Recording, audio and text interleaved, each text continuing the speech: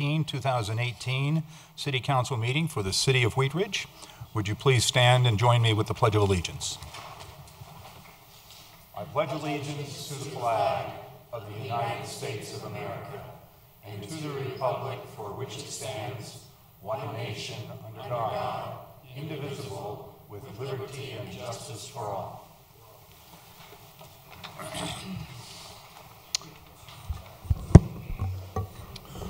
Clerk please call the roll?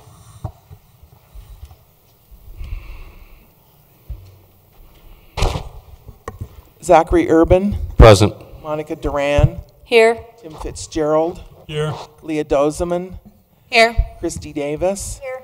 George Pond, Present. Larry Matthews. Here. Um, and Mr. Mayor, we have a quorum. Thank you.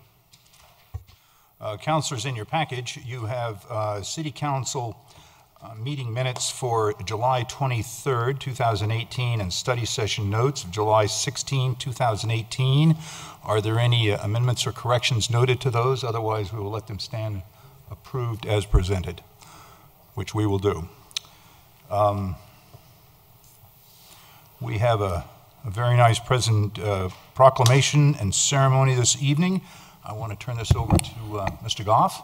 Thank you, Mr. Mayor. Yeah, very um, excited and proud um, for this uh, presentation this evening, um, and honored to introduce uh, Craig Kocian um, to do the presentation. He's the former um, Arvada City Manager, and he's currently Senior Advisor for the International City County Manage- Management Association. So he's going to present the Trailblazer Award to Ms. Heather Geyer. Good evening, Mr. Mayor, members of council.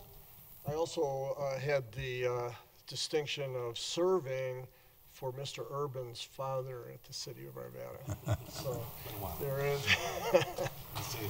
And it, it was a privilege. It always was a privilege. Um, Again, good evening, uh, and uh, I've been introduced as a senior advisor for Colorado City Managers and uh, International City Managers Association. Uh, Unfortunately, um, when most people, when people call me, generally speaking, it's too late.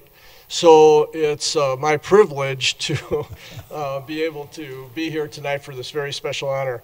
This award was created to honor a professional who stands out and consistently leads, is in the forefront of improving the value of public service specifically city, town, and county management, and particularly through the promotion and celebration of diversity in executive management. I don't need to elaborate in much detail to this mayor and council the extraordinary talent, skill set, dedication, and energy that Heather Geyer brings to her job, this profession, and to this community. You all and your manager, Patrick, are to be strongly commended in the most complimentary terms for permitting and creating a great environment and culture where, where Heather has been able to grow, work, and show what she's been what she's made of. And problematically now, other communities, specifically the city of Northglenn, are going to benefit from your good works and from Heather's hard work on your behalf. Because we have some viewers and listeners and some audience tonight, I'd ask you to indulge me just a little bit longer to talk a little bit more about Heather. Um, more indication of who she is, what she has accomplished, both working for you and for- in the large, larger regional and professional community. Heather, as you know, is a member of the Wheat Ridge Optimist Club, and amongst many projects, she facilitated the partnership with the city to host your annual toy drive. She has also been one of the major actors behind the scenes in the success of many great events that you hold annually. She's also served as Assistant Director of the Columbine Girls State Program through the American Legion Auxiliary. This is a program that provides mock government experience for young women who recently completed their junior year in high school. Beyond the local community, she also sponsors four children through Compassion International, a child advocacy ministry that pairs individuals with children who live in poverty, a cause near and dear to her heart. Regionally and nationally, Heather has served or is serving in many several different capacities.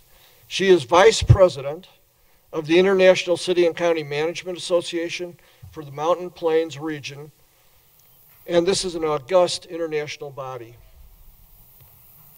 As a co-founding member of the Colorado Women Leading Government, she has been a advocate for advancing women in our profession as a coach, mentor, and extraordinary model.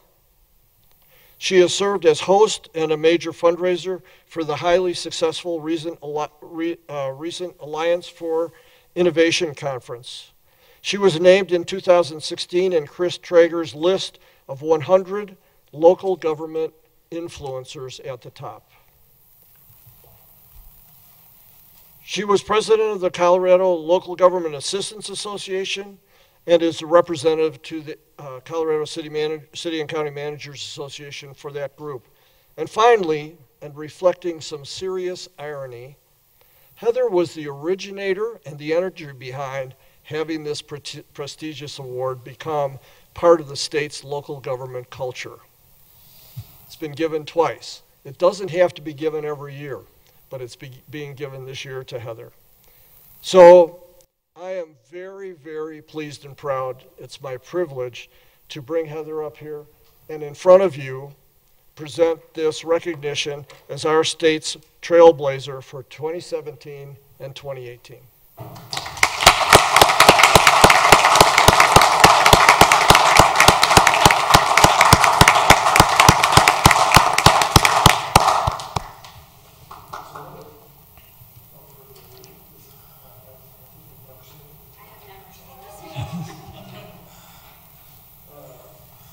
Let me relinquish.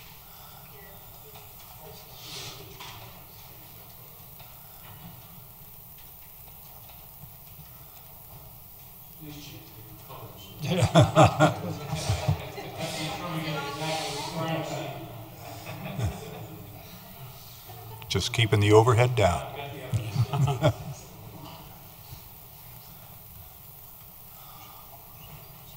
Thank you, Craig, for coming this evening and presenting this award to me. I'm very honored. Um, thank you to Patrick and the rest of staff here and to all of you. I'm it's it, it's quite a week this week in terms of transitioning from a place that I've called home for so many years to um, that next step in my career, which is to become a city manager, and and that's a dream that I've had since 1999 when I discovered that there was such a thing called a city manager position when I interned at the city of Greenwood Village. I was a senior at the University of Denver and had decided I didn't want to live inside the Beltway. I had spent a summer interning on Capitol Hill and decided that wasn't for me. It wasn't it wasn't a way to be close enough to the citizenry and really feel like I could make a difference. Um, I've been fortunate to do what I've done over the time I've been here and throughout my career because of great mentors like Patrick Goff um, who I think is one of the best city managers that has served the city of Wheat Ridge. You guys are really lucky to have him, and he didn't pay me to say that. Um, also, Michelle Kivela, who's the town administrator of the town of Parker. Um, she was the my first boss as an intern. She took a chance on me, and I think so much about diversity and inclusivity is about taking a chance on people, recognizing the value their assets, what they can bring to an organization, and and helping them grow and contribute. I think oftentimes we spend too much time focused on differences, and um, life is really short, and there's so much that can be accomplished. And so in 2011, when I had the opportunity to co found Colorado Women Leading Government, little did I know that it would play such an instrumental and pivotal role in, in my career, but we're really focused on empowering and uh, inspiring women to take that next step. And if it wasn't for the support that I have in the leadership here at the city of Wheat Ridge, I may not have taken that next step when I got the phone call from the city of Northglenn in June um, inviting me to come interview with their city council. For those of you who don't know the story, I interviewed with them two years ago in the spring of December in the spring of 2016 and I wasn't picked. I was I guess you could say the runner up. And so um, this has been just a really tremendous opportunity that I think the stars have aligned. And um, I'm taking that step. And I know I have a great network of professionals through CCCMA to support me and be there along the way. Um, but I can't thank the city of Wheat Ridge enough for all that you have done for me, investing in me, allowing me to, you know, be a resource to others. I, I spent part of my morning yesterday on a coaching call with a young professional in northern Colorado who's trying to navigate her her professional career and, and trying to decide what steps to take. And I, I'm very fulfilled and find great um, joy in being able to do that. Um, a couple last things I'll leave you with because I, I had made bullet points of all these statistics that I was going to share with you guys. Um, so I'll share one. 19.8% of chief executive officers in local government are female. And um, certainly there's other corresponding statistics for females who serve in an elected capacity at the local level, state, and federal level. And I think we can do better than that. Um, at the end of the day, I think about my 16 year old niece who wants to be a doctor and she wants to help deliver babies in third world countries. And I think about my nine year old niece who wants to be a teacher and her bedroom becomes her classroom. And, and that's what she does when she plays. And so I want to challenge each and every one of you to think about what you can do to help empower and inspire women in your life to make sure that they get to choose who they want to be when they grow up. I was fortunate to be raised by a mother who said, You can do anything you want to do, you just have to work really hard at it. So I want the future to be such that my niece, my nieces, and the other young women in the world aren't discriminated against in the way that many women are today, and that they can sit at the table and they can contribute and they can play a role in making the world a better place. Thanks.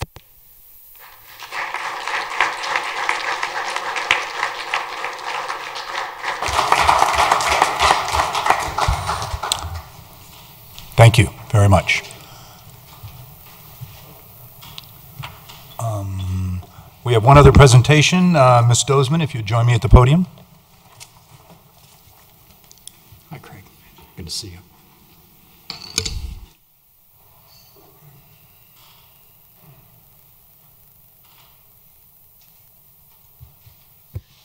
Good evening. Tonight I am on this side of the dais and I am presenting the 49th annual Wheat Ridge Carnation Festival plate to the city of Wheat Ridge. I have served on the Carnation Festival board for the last four years. Uh, for the last three, I've actually uh, been parade chair. And this uh, was, as you can see on the wall behind you, we have plates from most every year of the Carnation Festival dated back to the very beginning in 1969. Uh, two years ago, I had a member of the committee choose to do a uh, plate design contest. So we have been soliciting artwork from local artists within the community, and they we choose a winner. Uh, have a panel of judges to choose a winner, and uh, this year Wil- Wilma Nees was the winner, and it depicts a Roy's Market in the 1920s. Her family uh, had a farm here in Wheat Ridge, and I'm here to thank all of the city councils and the mayors, past and present, for supporting the Carnation Festival for the, the last 49 years. And I would like to present this to Mayor Bud Starker this evening.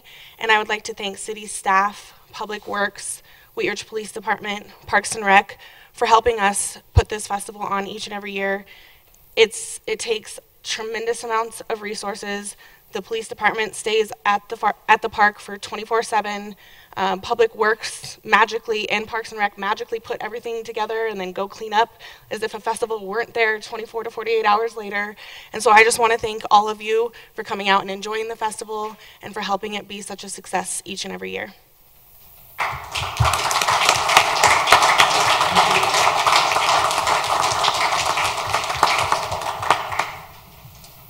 Well, Lee, I'm honored to accept this on behalf of the city, and I would like to uh, recognize the festival chairman, uh, Joe DeMott, vice chair, Walt Pettit, and the parade chair, Leah Dozeman. And uh, it was a, it was a great, it was a great festival, it was a great parade, and, uh, and I want to thank the, the work that the city put into it and all the citizens and people in the surrounding communities that came out to, uh, to have a great time at the, at the uh, Carnation Festival. And we'll be back next year with number 50. So thank you.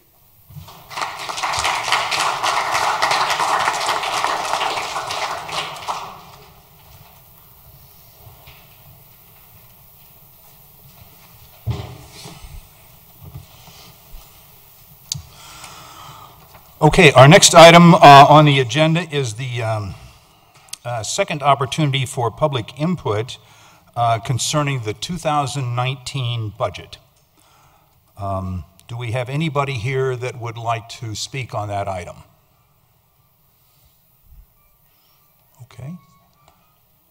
If I could, uh, on an- on another related note, if you would please silence your telephones, that will help us out in the, uh, in the meeting hall. Um, All right, we will go now to citizens' right to speak. Um, I have a, a sign-up list here. Uh, And I assume these are on uh, items that are not on the agenda. So this is a general uh, right to speak. When I call, please come to the podium, adjust the mic, give us your name first and last, if you'd spell your last name, and give us your address. And you have uh, three minutes. So our first um, speaker is David Ellenberger and Dominic Breton on deck. evening. My name is David Ellenberger. Last name is E L L E N B E R G E R. Been a, had the fortune, good fortune to be a citizen of Wheat Ridge for the past seven years. So, um, first time appearing in front of you all. But thank you very much for allowing me to speak.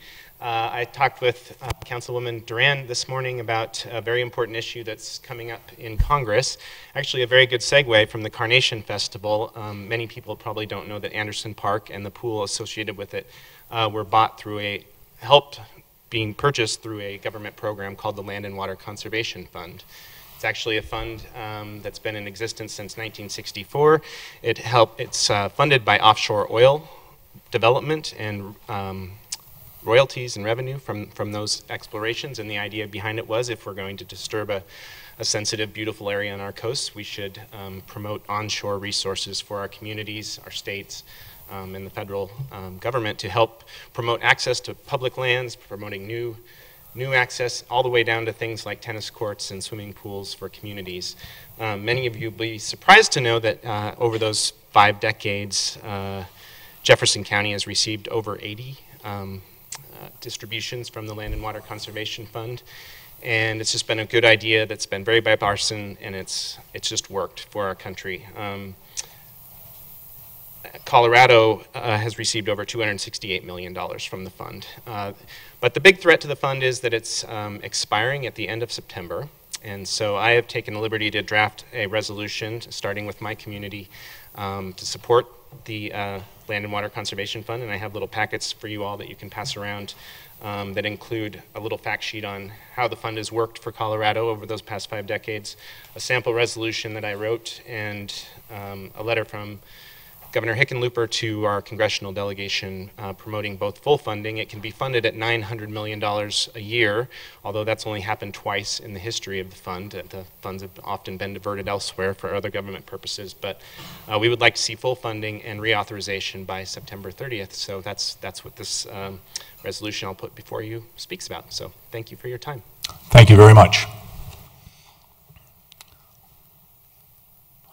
Our next speaker is Dominic Breton and uh, Evan Clark on deck.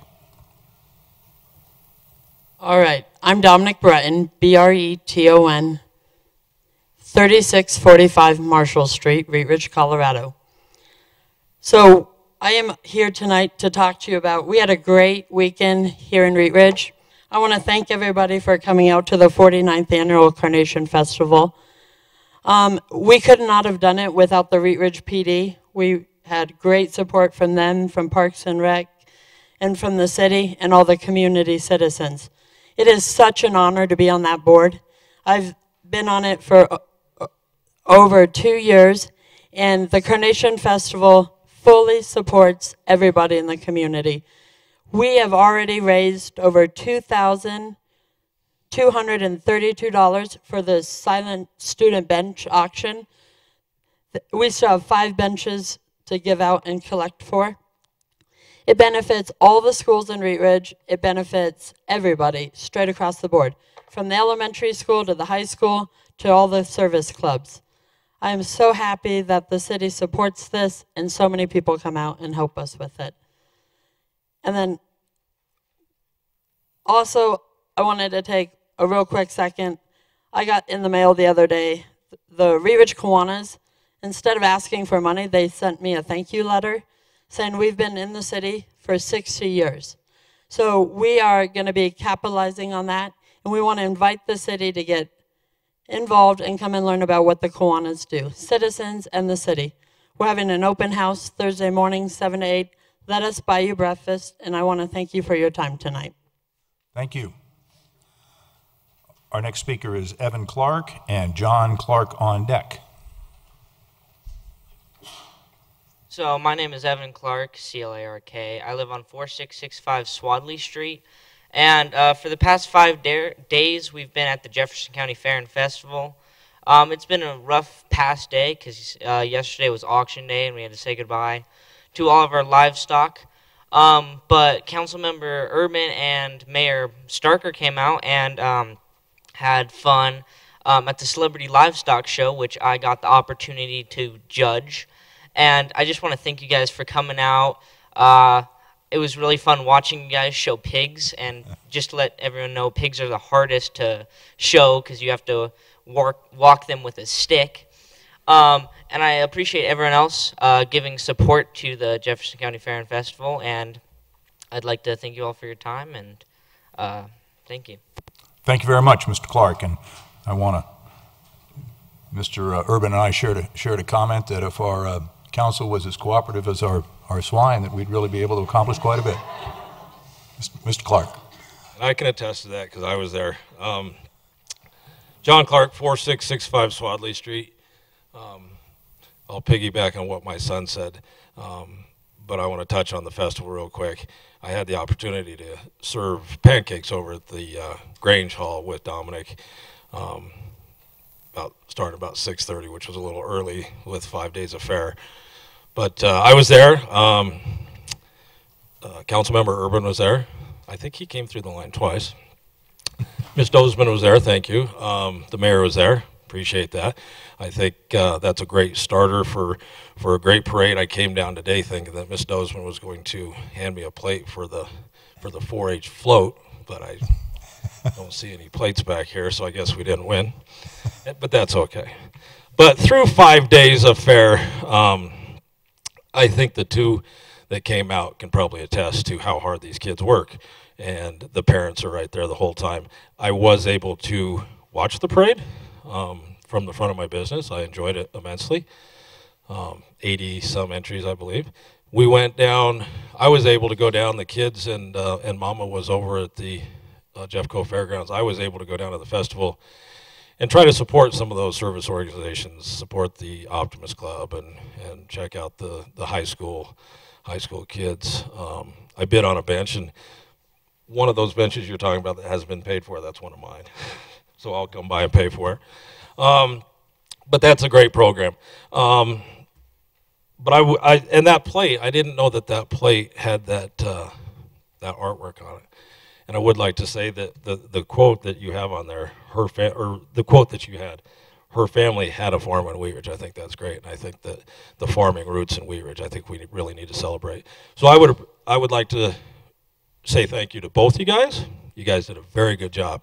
Um, when you take guys like this out of their element and, and put them in a show ring with seven, eight other people driving pigs to a judge, four judges actually. Um, my son is on the judging team, so he uh, got the opportunity to judge them.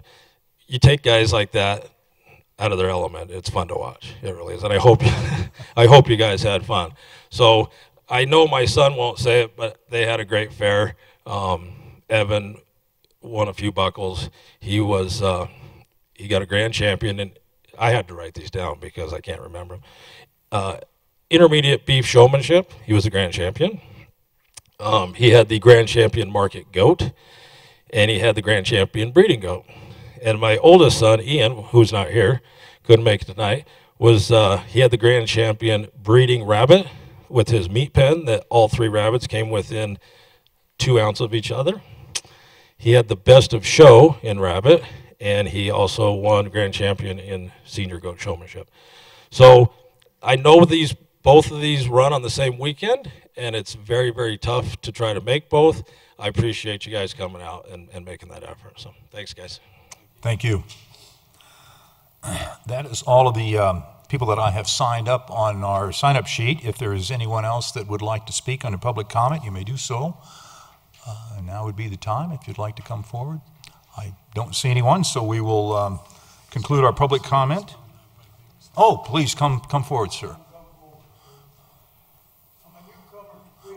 Come, come and get into the microphone, adjust the microphone, tell us your name and spell your last name and tell it. I'm a native from this state. I've been here in the Denver area forty-seven years.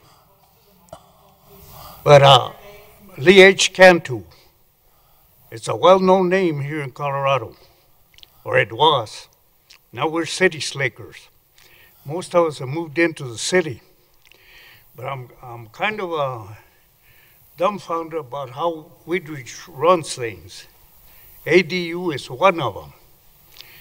The ADU is, has something to do with housing for the people of this district, right? I want, I want to find out if you can tell me something more about it, 'cause I'm a little confused about what it says in this paper.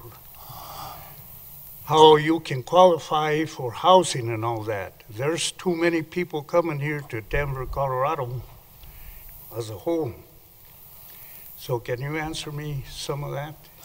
Well, uh, Maybe not right away. You know, not right away. What I would suggest is that you get in touch with, uh, with Mr. Goff, and, uh, and he will be able to uh, uh, direct you to the most appropriate uh, agency or person in our, in our city that would be able to give you more detailed information.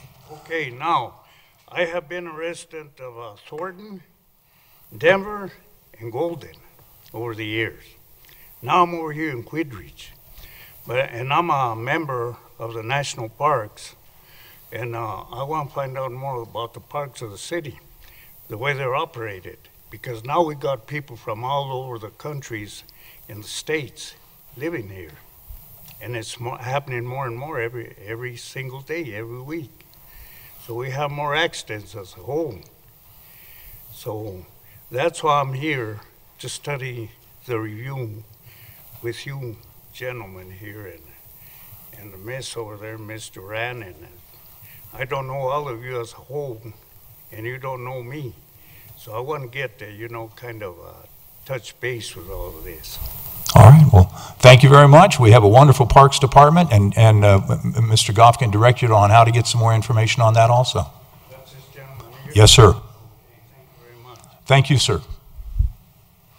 Uh, Is there anyone else uh, here tonight who would like to come forth and speak on public comment?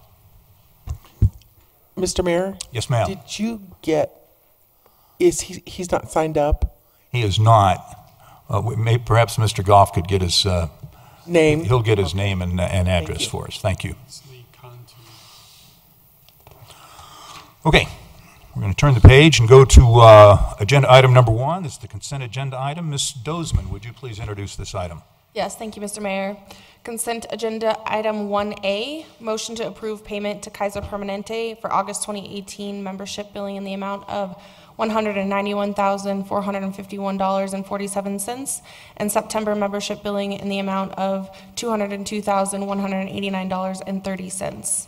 Consent agenda item 1B, Resolution 42-2018, approving a memorandum of understanding between the Wheat Ridge Police Department, the Golden Police Department, and the First Judicial District Attorney's Office for the establishment of a body-worn camera program.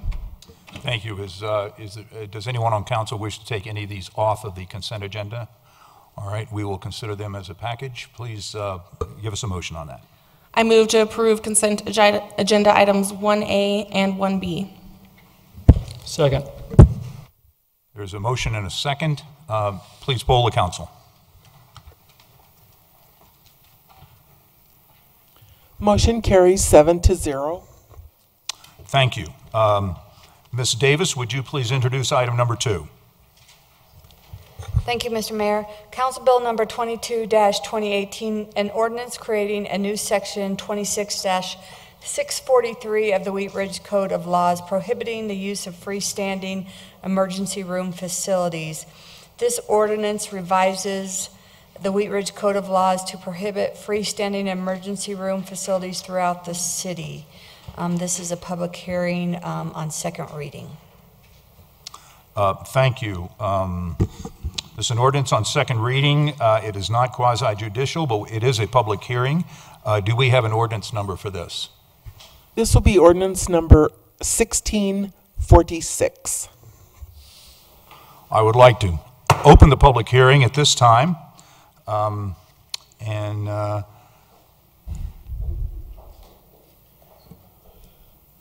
go to Mr. Goff for. Yeah, uh, Mr. staff Dahl, our city attorney will have a, a- a brief um, uh, presentation.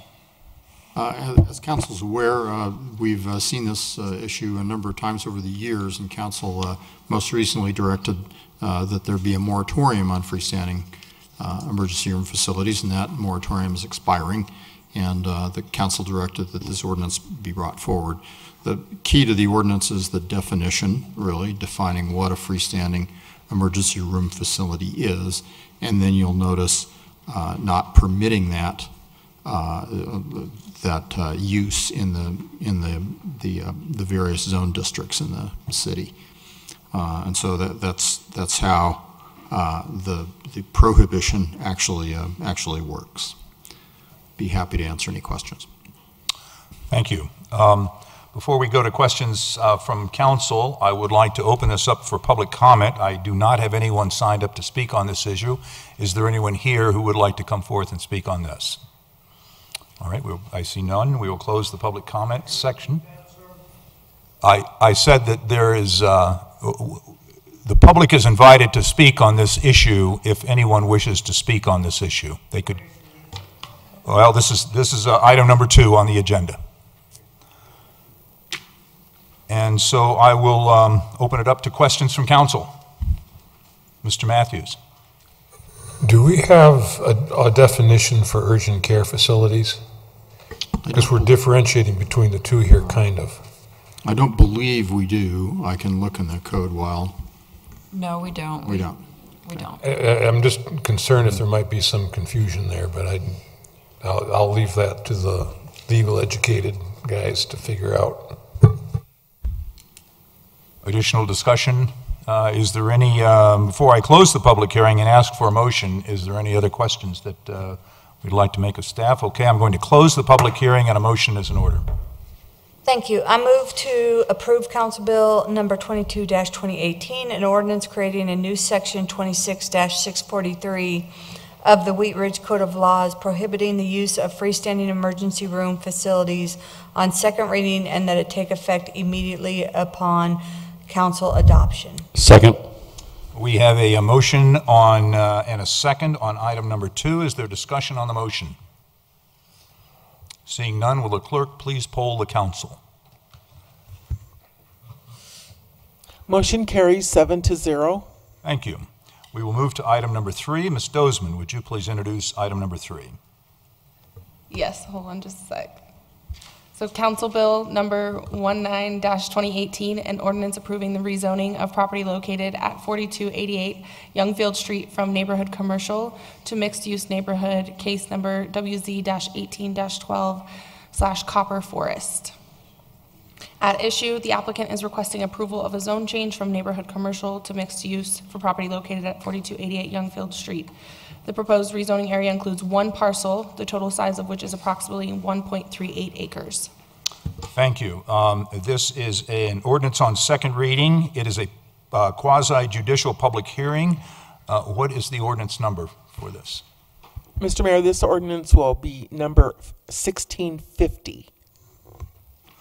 I'm going to open the public hearing, and before we, before we swear everybody in, I'd like to, uh, to make uh, everyone aware that public hearings, quasi-judicial public hearings, are for the purpose of um, considering ch- zone change requests, which are property rights in our state.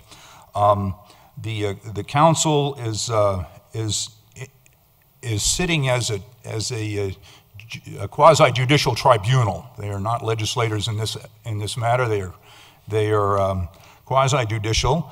Uh, They, they've been um, sequestered in a sense, not to speak to anyone else about the matters in this, uh, before us in this hearing.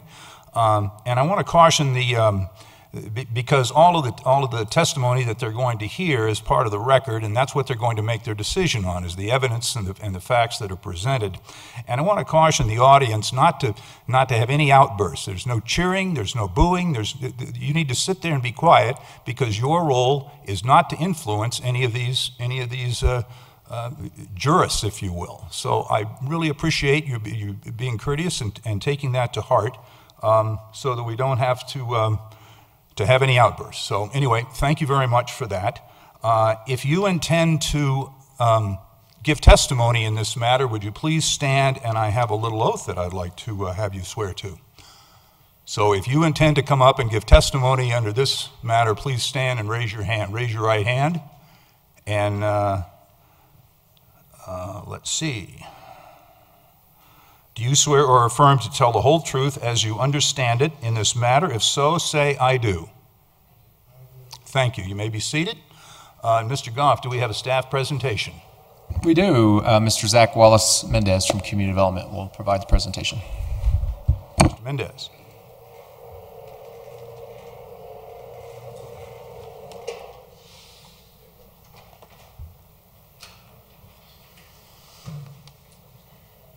Alrighty.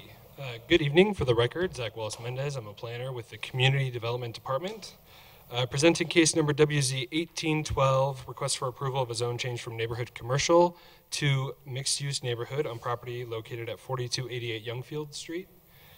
Uh, I would like to enter into the public record the contents of the case file, the zoning ordinance, the comprehensive plan, and this digital presentation. The property is within the city of Wheat Ridge. All appropriate notification and posting requirements have been met, and therefore city council does have jurisdiction to hear the case. We'll start with the 2016 aerial. Uh, The property is located on the northwest corner of Youngfield and 42nd Avenue. Um, As you can see, it's directly east of the um, I-70 Highway 58 interchange. Uh, The zoning in the area is a bit of a mixed bag. Um, To the south is Commercial One, uh, an irrigation supply company operates out of there with a special use permit. To the east is restricted commercial, um, two properties owned restricted commercial. One is the Jefferson County Head Start School, and then the other is a specialty retail um, store. Uh, there, the darker green to the northeast uh, is uh, agricultural two, mostly single-family homes, um, some semi-agricultural properties. There are two dog dog kennels, excuse me, that operate in this area uh, under special use permits. And then the highways and the green belt are zoned agricultural one, as are a few uh, properties in the periphery. And just to kind of uh, jog everyone's memory, I'm sure we all know this building um, on Youngfield. It was originally built in 2001 as a model home for a log uh, home builder. The current owner purchased the property in 2015 and converted it into a series of small offices, which it continues to operate as today. Every zone change request does require a neighborhood meeting. Uh, the meeting for this request was held on May 2nd with three neighbors in attendance.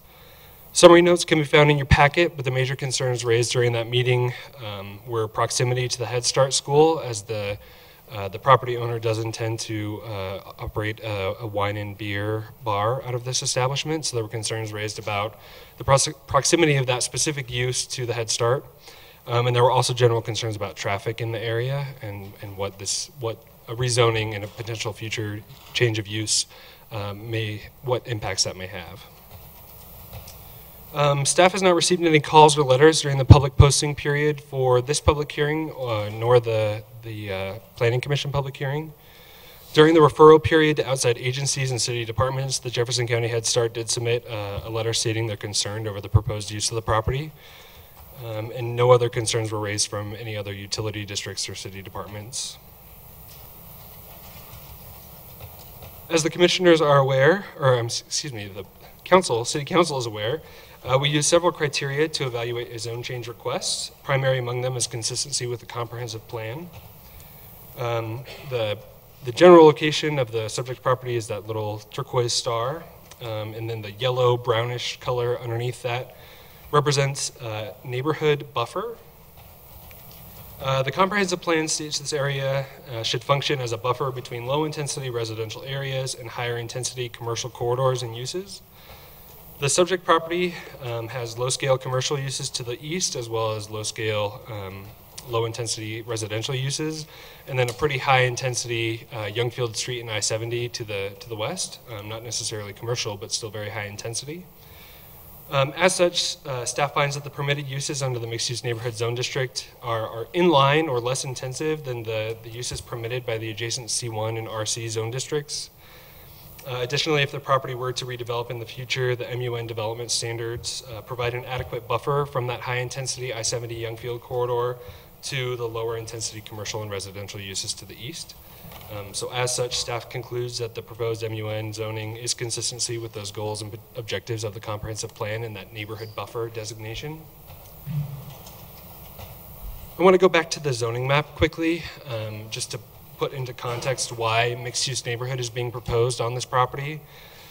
Um, the adjacent properties are zoned restricted commercial and commercial one.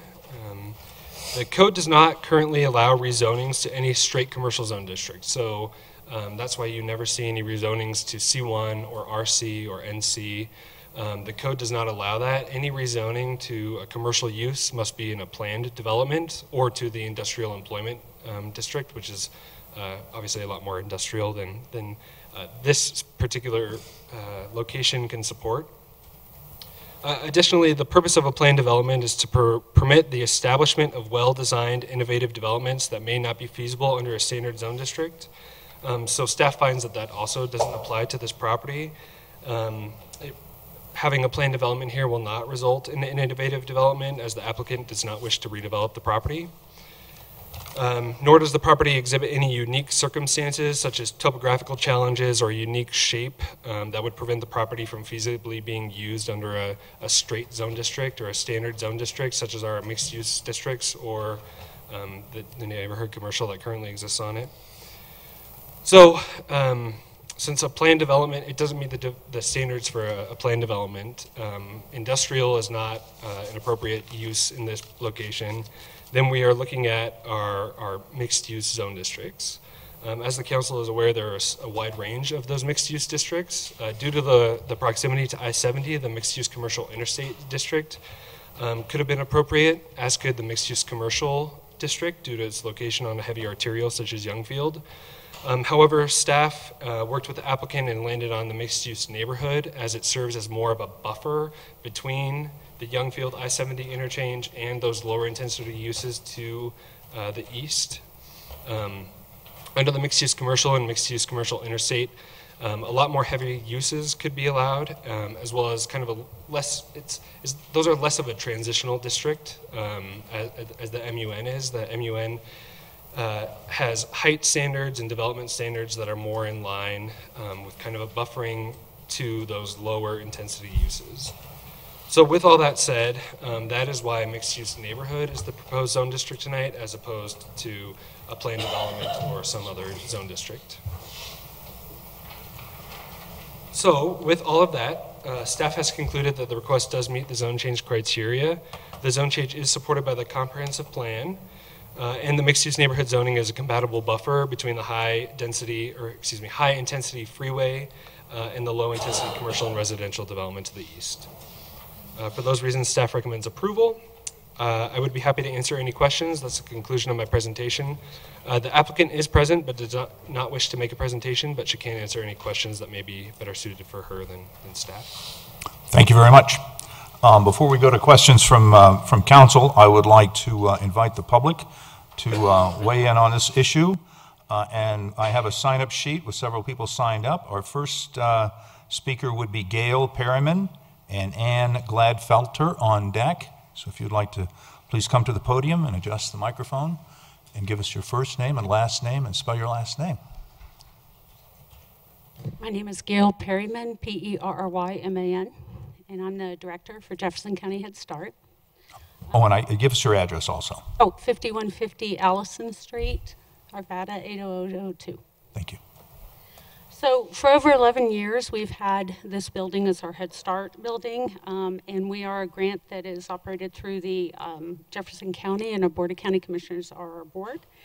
And we feel very strongly that this is an inappropriate establishment to be put next door to a Head Start building.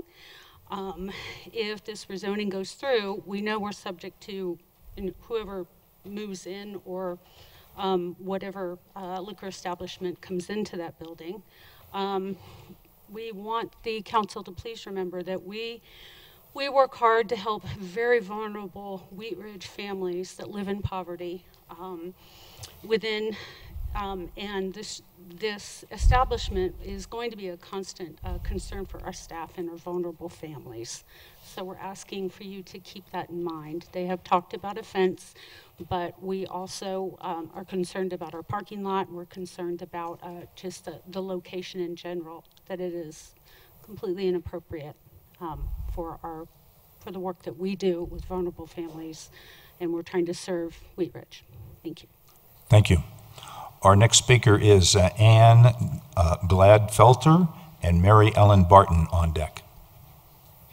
Hey, my name is Ann Gladfelter, 12725 West 42nd Avenue, Wheat Ridge, and that's the address of Head Start. I'm a teacher at Head Start, and our children are three to five years old, and they come um, all five days of the week. And in the wintertime, it's dark when they when we leave and what, sometimes when they leave and we have meetings at night i'm very concerned about safety. I'm concerned about traffic and the road and it's very dark on that street i'm concerned about the lighting.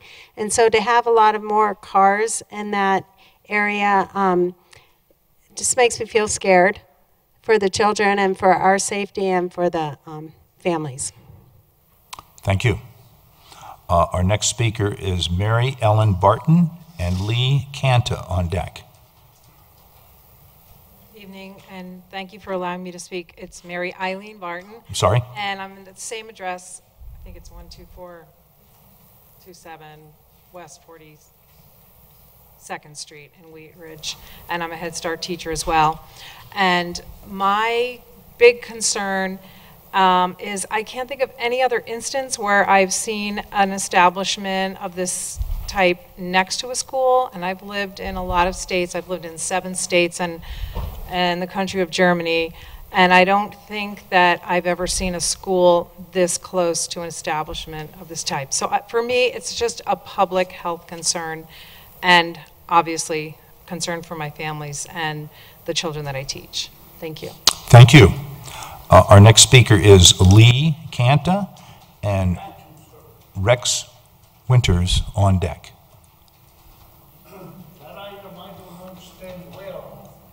Please come to the, okay.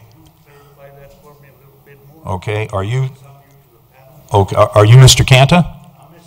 Okay, Mr. Canta? 51 West 38th Avenue. Thank you very much. You have signed up to speak, uh, either, uh, to give your opinions on item number three, which is a rezoning application for property um, located on Youngfield Boulevard. Do you have any, do you have any testimony or anything that you'd like to say in this regard? No, what I'm interested in, is getting some of these trees that are overhanging over the streets. Oh, okay. Arborist. Okay. Gotcha. That would be, that, this wouldn't be the appropriate time to go into that. So, okay. Well, this isn't the time to sort of go into the trees and the arborists, but, uh, uh, you know, we will, Yeah, I'm a little perturbed about the way you run your patent here, so you know I'm still studying. okay. All right, well, thank you very much. Our uh, next speaker is uh, Rex Winters.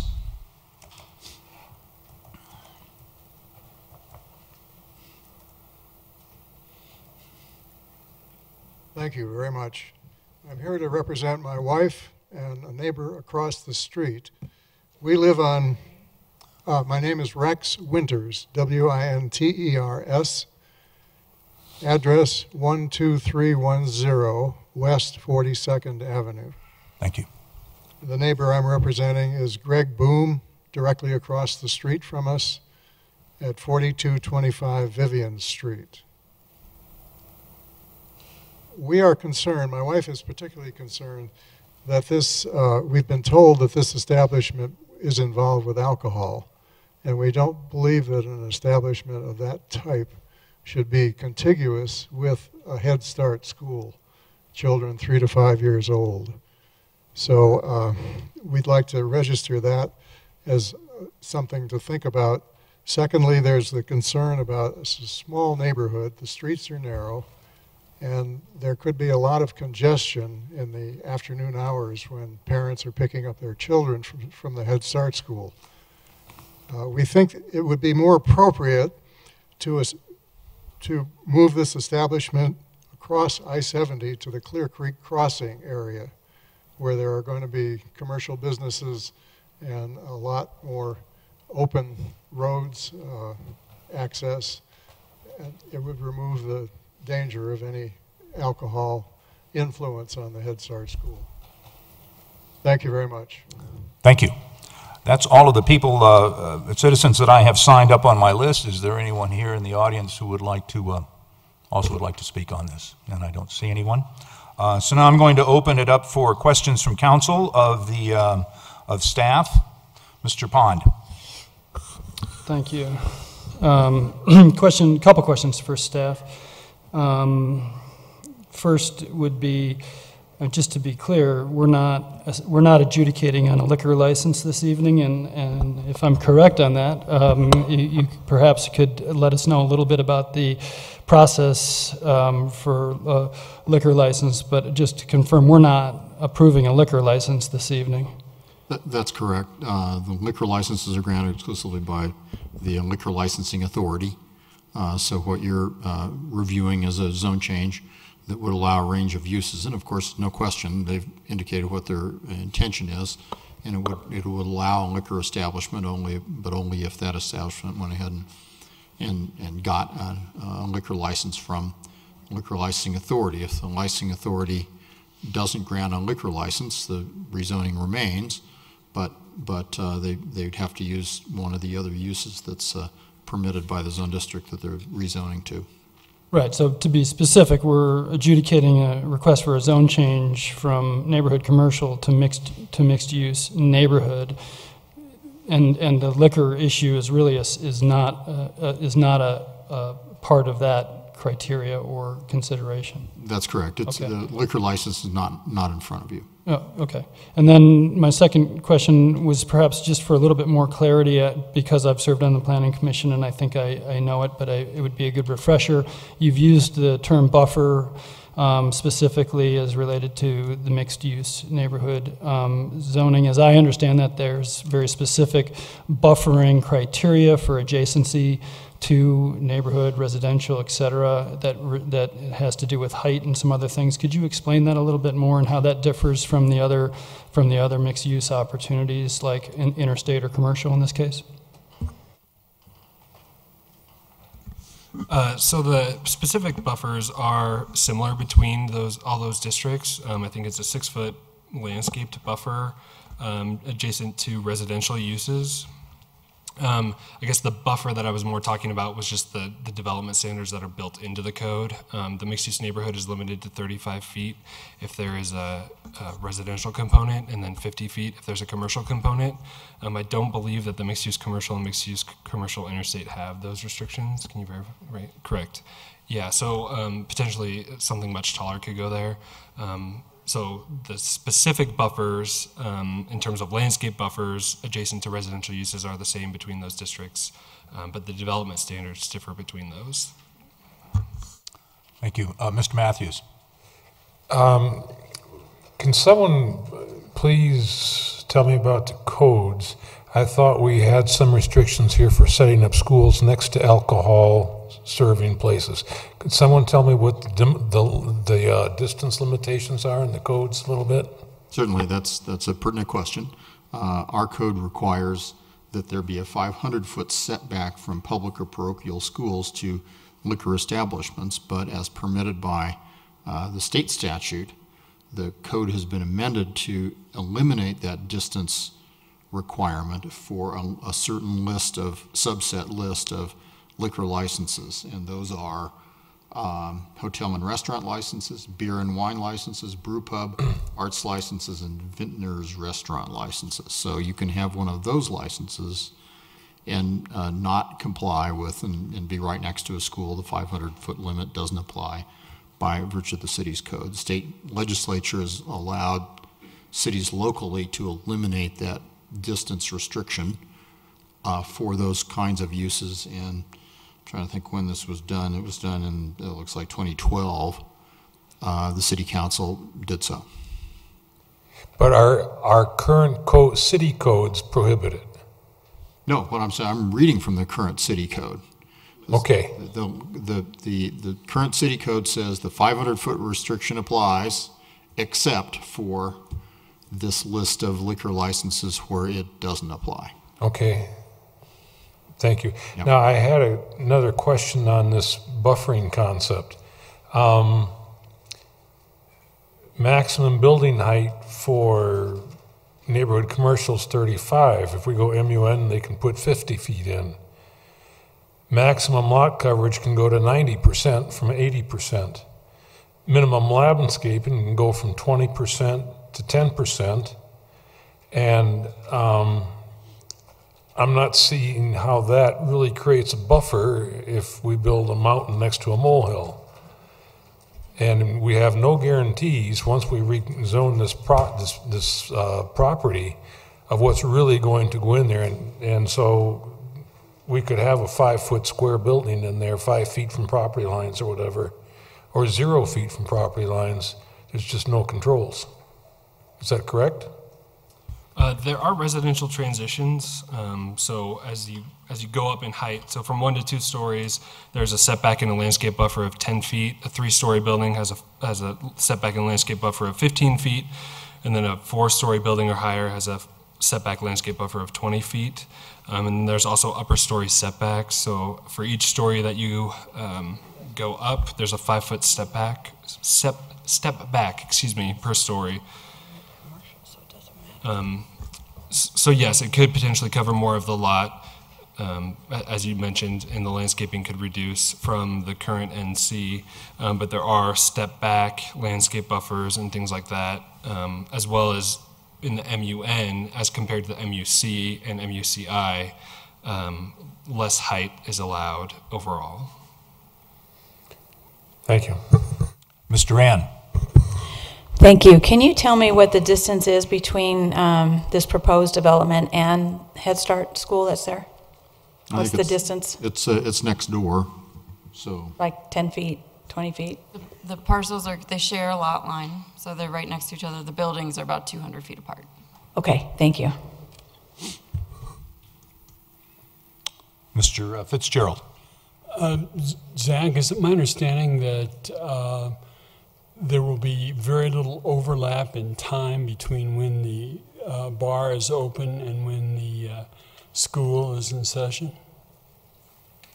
Um, I might refer that to the applicant. I know I did mention um, what she had proposed in the staff report, but I, I don't recall off the top of my head. Um, so maybe I'd let her answer that instead of shuffling through all the papers to try to find that. Sure. Would you like the applicant to come forward and, and Yeah. speak on that? And let me just verify, I believe you were, you, you, you got sworn in when you needed to, correct?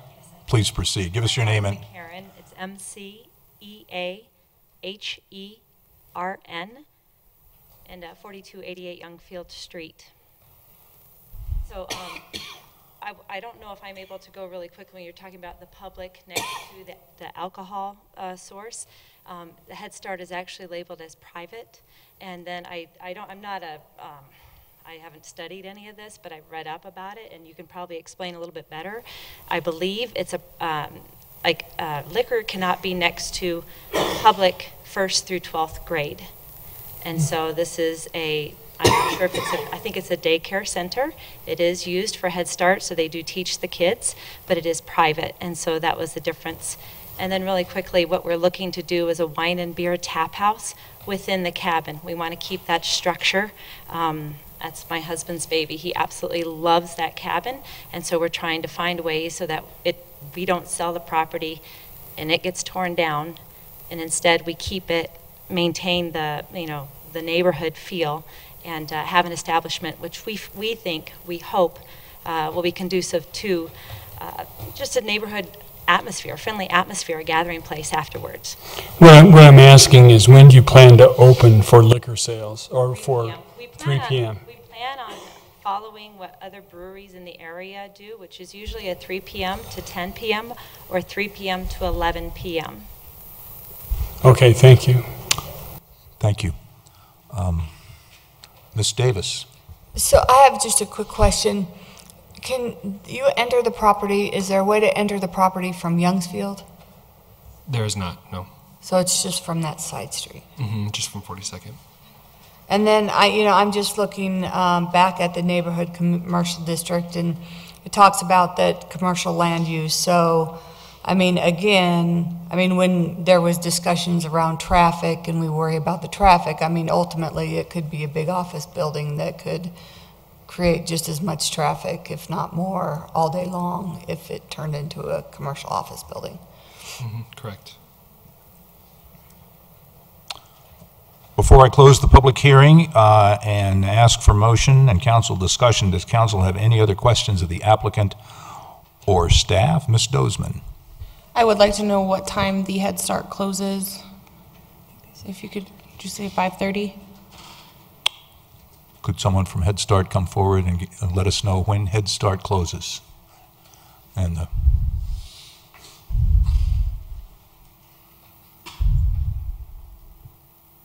Our um, Head Start uh, has a potential to close and end at 5:30 with parents picking up, but parents are often late at times, so we usually try to be out there by 5:45. Thank you. So is that normal business hours, though? That, Yes, okay, so 7 a.m. roughly to 5:30? about 7, about 7:30, 7, 7:30 till about 5:45. Thank you. Thank you. Any other questions of staff, of uh, Mr. Urban? Thank you, Mr. Mayor. I- Going back to Councilmember Davis's question about access off of Youngsfield, my understanding was that um, it would be possible to request access from CDOT uh, for that access, and given that the property has a Youngsfield address, uh, it would be more appropriate to have access off of Youngsfield. But can you speak to the uh, ease or difficulty of getting that CDOT access, or what the process would be to require that? Sure. Um, so CDOT has a two-step process whenever you're requesting what they call an access permit. Um, anybody could apply for an access permit. In our experience, it's unlikely that one would be granted when a local street access would be able to serve the same property. CDOT's really hesitant um, to provide an access when there's an alternative that's not off the state highway, particularly in a situation like this where there's a bend in the road and a heavily used intersection just to the north at 44th. So it could be applied for, but um, based on our experience, it'd be unlikely to be granted with this fact pattern at this property. And are, are there any other CDOT access points along Youngsfield uh, in adjacent properties, or is there any way to tell where previous access points have been granted? The closest access point um, in this vicinity would be at Storall, where they don't have a local street access option, just to the north. It's shaded in purple in the zoning map. Mhm. Thank you. And just for clarity in the record, uh, Youngfield is a state highway? Correct. Thank you. Ms. Dozeman? What is the capacity and square footage of that building? Do you know that offhand? I, I don't offhand, um, but I'm sure it is in the staff report. Okay, or yeah, the applicant um, would be happy to take that. Oh, she, she said 5,000, sorry. I didn't. 5,000 square feet. 5,000. Thank you. So- 2,000 on the bottom, 2,500 on the main floor, and then there's 500 foot loft. So, uh, how many people would you say could be in your establishment at one point in time? Uh, I do not know. Okay. We're, I haven't gone completely to the ends of it because there's a lot of steps to take, and I want to make sure I complete each step before I continue. But we do know what we need to sell each day and that kind of stuff, but uh, I don't know per square footage how many people are allowed to be in there. Okay, thank you. Okay, is there any other, uh, any other discussion before I close the public hearing? Mr. Mayor? Uh, I just had a question of, um, as Councilmember Pond pointed out, this is just a rezoning, and that the liquor license would have to be yet granted by the um, liquor authority. And what if that doesn't happen? Then- Well? What if they aren't granted the license? Uh, Uh, You know, that's a hypothetical question. Yeah. That, what if? But that, we're here in a, we're here in a zoning hearing and not a liquor hearing, so take them one, one at a time. Okay. Mr. Mathews? That was part of what I was thinking about, by the way. Um, Then we've gone to MUN. Are there any other zoning classifications that would allow their intended use without going to MUN? A, a planned development or the industrial employment zone district? Would those uses be more restrictive in land use area and, and density than MUN? No, so MUN is the most restrictive uh, zone district option that we have to rezone to. That would allow a commercial entitlement. A plan development, of course, uh, could create any, any series of um, restrictions on it. So that, that's also sort of a hypothetical because those are documents that create their own zoning. So in terms of the mixed use spectrum, where there's four options, and the industrial employment, this is the most restrictive option. Do you understand what I'm saying? Which allows the highest density of residential? Uh, There's not a density limitation in any of our commercial zone districts. Are you saying they can build residential in commercial districts? Or are they prohibited? In a mixed-use district, residential development is permitted. Right. And what's the density limitation for this lot Uh, I for believe this MUN? Area is a part of the urban renewal area and is exempted from the charter's height and density requirements relative to residential. Thank you. Are there any other uh, questions for uh, staff or the applicant? Okay, I'm going to close the public hearing and a motion is in order.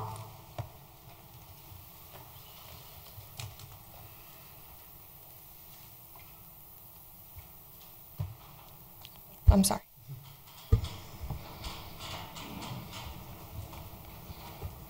You know, you could call me out by name if you needed to. Sorry. You're okay. Do you have it up? Sorry, I'm trying to find it in my packet.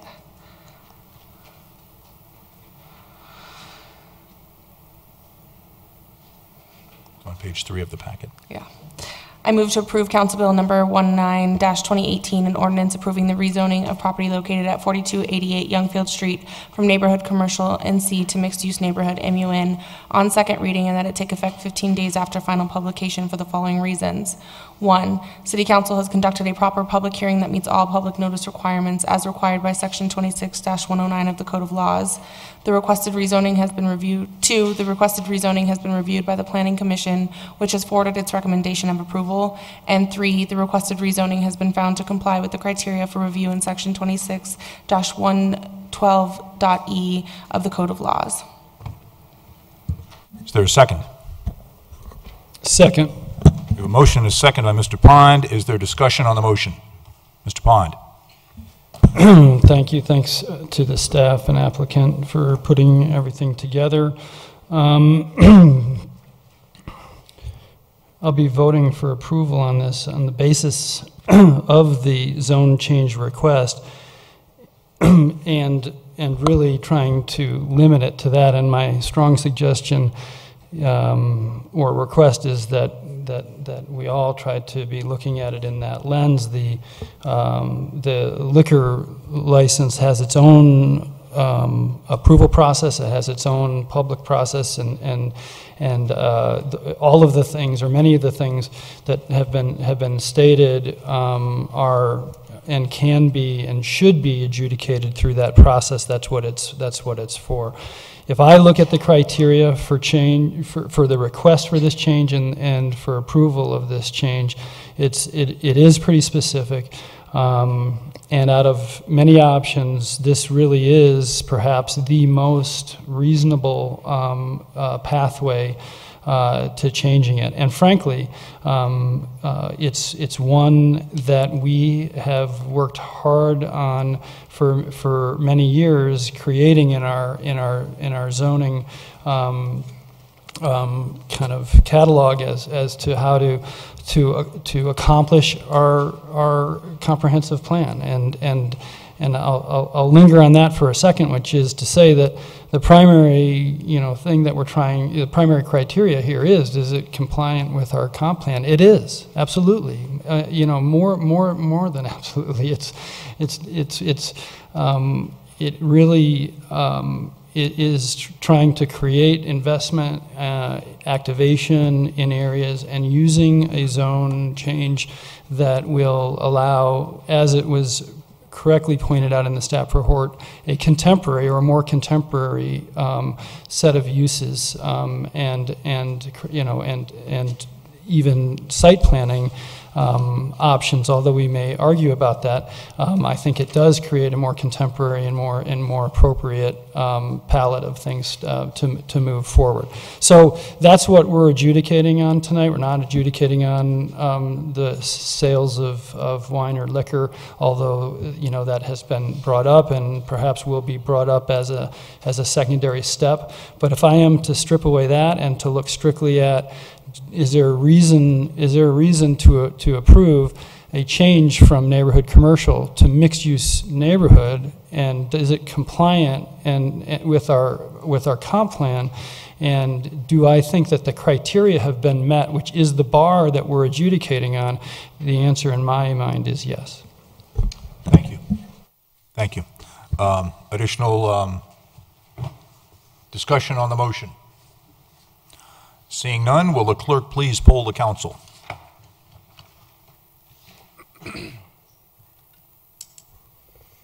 Um, the vote is four to three, which would mean that that fails. Yes, uh, the charter requires that all ordinances pass by uh, five votes. So in this particular case, the ordinance uh, falls short by, uh, by one vote, even though the motion appears to pass. That doesn't get you the five votes required for passage of an ordinance as required by the charter. So the, uh, the applicant, uh, the application is therefore uh, denied. Thank you. That will conclude item number three. Uh, We will move now to uh, agenda item number four. Mr. Urban, would you introduce item number four? Thank you, Mr. Mayor. Council Bill number 20-2018, an ordinance approving the rezoning of property located at 6701 West 44th Avenue from Commercial 1 to Mixed-Use Neighborhood, MUN case number WZ-18-14. uh, Petrikis? Sorry if I butchered that. Um, At issue, the applicant is requesting approval of a zone change from Commercial 1 to Mixed-Use Neighborhood for property located at 60 uh, 6701 West 44th.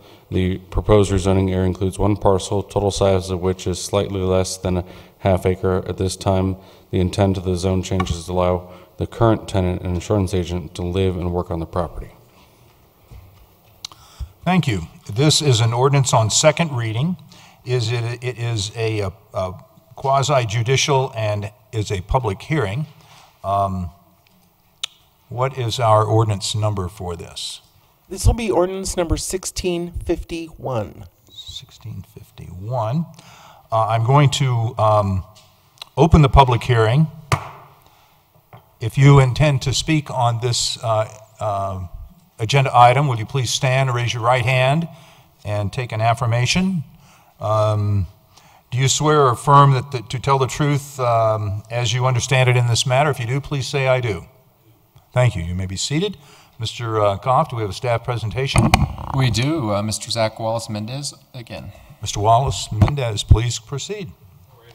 So once again, for the record, Zach Wallace Mendez, planner with the Wheat Ridge Community Development Department. Um, this is case number WZ 1814, request for approval of a zone change from C1, Commercial 1, to mixed-use neighborhood. I would like to enter into the record the public, uh, enter into the public record, excuse me, the contents of the case file, the zoning ordinance, the comprehensive plan, and this digital presentation. The property is within the city of Wheat Ridge. All appropriate notification and posting requirements have been met, and therefore the city council does have jurisdiction to hear the case. As always, we'll start with the 2016 aerial. Um, the property is located parallel with Otis Street between Pierce and Newland um, on the north side of 44th Avenue.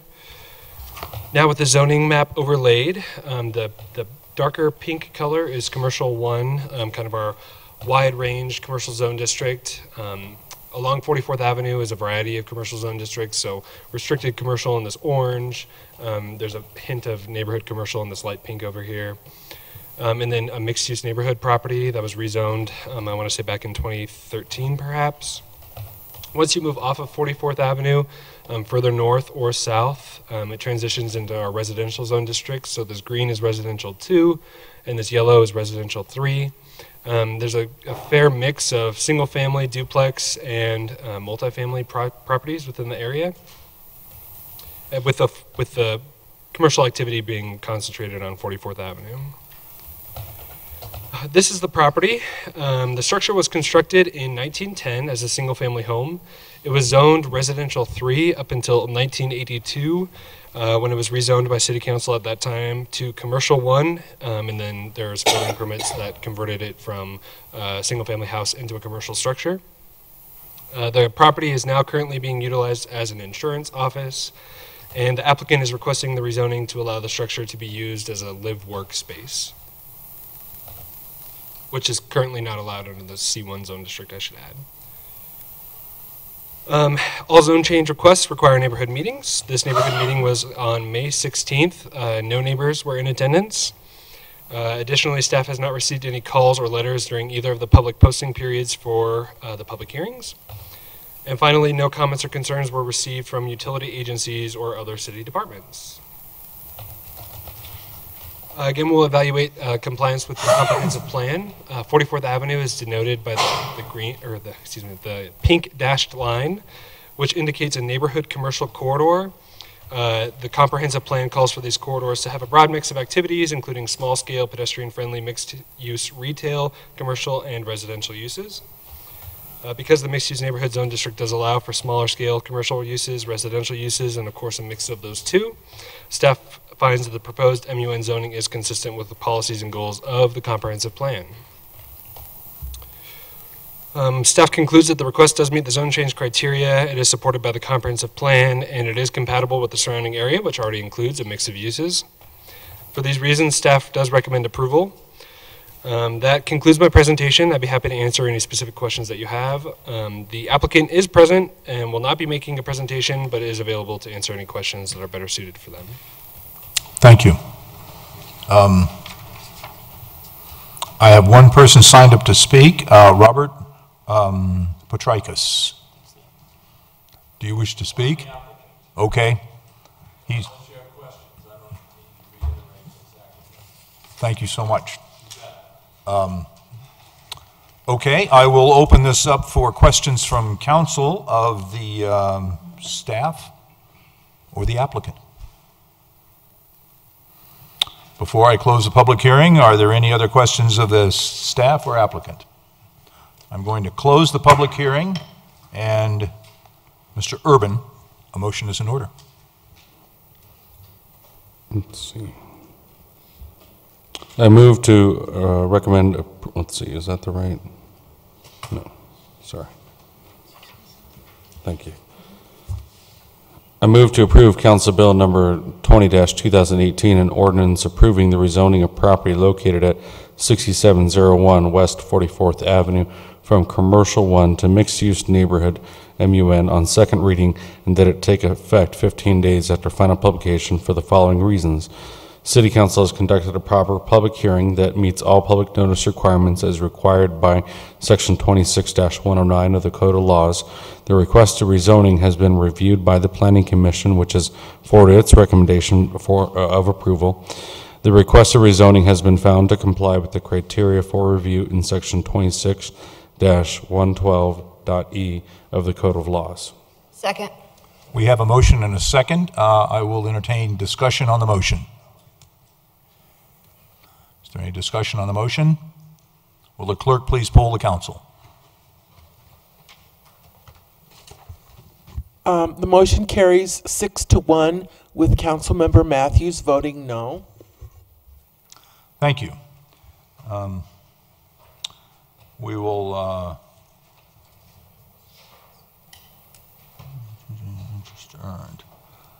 Uh, I'm going to ask uh, Mr. Fitzgerald to introduce item number five. Ms. Hoppe is not here. Okay, very good. Uh, Council Bill number 21-2018, an ordinance adopting a new section 2-9 of the Wheat Ridge Code of Laws concerning the retention of interest earned on escrow accounts held by the city at issue. The city treasurer, Mr. DiTullio, has determined that there is a significant cost associated with, with city staff receiving and administrating monies deposited into multiple escrow accounts for various purposes mandated by the Code of Laws. Exact accounting and record keeping of each small escrow account and interest earned thereon would be extremely burdensome and impractical for the city staff to reasonably achieve. The code amendment will allow the city to retain interest on such escrow accounts. Treasurer DiTullio has reviewed the ordinance and supports the code change. Additionally, the treasurer also recommends that all future escrow documents clearly state that the escrow funds are not paid interest. Thank you. Um, This is an ordinance on second reading. It is a um, public hearing. It is not quasi judicial. Do we have an ordinance number on this? Madam, uh, Mr. Mayor, this ordinance will be um, number 1652. Thank you very much. I'm going to open the public hearing. And uh, Mr. Goff, do we have a staff presentation on this? Our city treasurer, Mr. DiTullio, will give a short presentation. Mr. DiTullio, please continue. Uh, Thank you. The comments that were read by Mr. Fitzgerald were complete.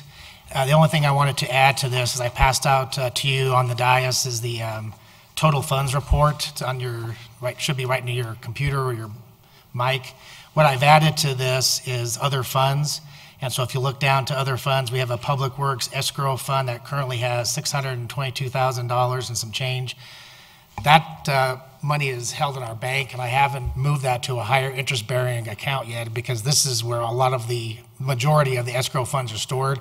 So that $622,000 is made up of many, many different uh, projects. And so to keep track of all the interest for all those different projects and then to rebate those was the issue that I brought up to you about a month ago, a month and a half ago. So that's why the ordinance came forward. So if you have any questions, I'd be willing to answer them. Thank you. Um, Do we have um, questions from council of uh, staff?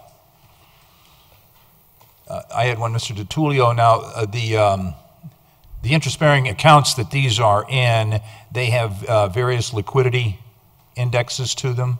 No, this money is at the bank, and this is a money market, which is liquid all the time. Okay, So this money is coming and going as projects complete and, and the projects are completed. If this ordinance passes tonight, I'm going to move this fund, the $622,000, to the CSAFE money market account, which is paying a lot more interest than this at the, the bank. and it would have the appropriate liquidity in order to refund these, uh, these uh, holdings back to the appropriate parties. Correct. As, as we have CDs mature and we have these funds in, they're all money market liquid accounts. So that all of this is, as the CDs mature, we're moving them into liquid accounts so that we can earn more interest and actually have access to those funds. The council could access them and the staff when we need to. Thank you. Uh, Any other questions of staff? Uh, I'm going to close the public hearing, and a motion is in order. Mr. Fitzgerald. I move to approve Council Bill number 21-2018, an ordinance adopting a new section 2-9 of the Wheat Ridge Code of Laws concerning the retention of interest earned on escrow accounts held by the city on second reading, and that it take effect 15 days after final publication. Second. We have a motion and a second. Is there discussion on the motion? Seeing none, will the clerk please poll the council? Motion carries seven to zero. Thank you. We will move to item number six on the agenda. Mr. Mathews, would you please introduce item number six? Thank you, Mr. Mayor. Item number six is Council Bill number 23-2018, an ordinance vacating any interest held by the city of Wheat Ridge in a portion of Miller Street, a public roadway adjacent to 5185 Miller Street, case number WV-18-01, Roush Industries. At issue, the applicant is requesting approval of a right-of-way vacation for a remnant section of right-of-way formerly used uh, for Miller Street. The right-of-way section requested for vacation was abandoned as a thoroughfare in the early 2000s when Miller Street was rerouted to the east. This is an ordinance on first reading.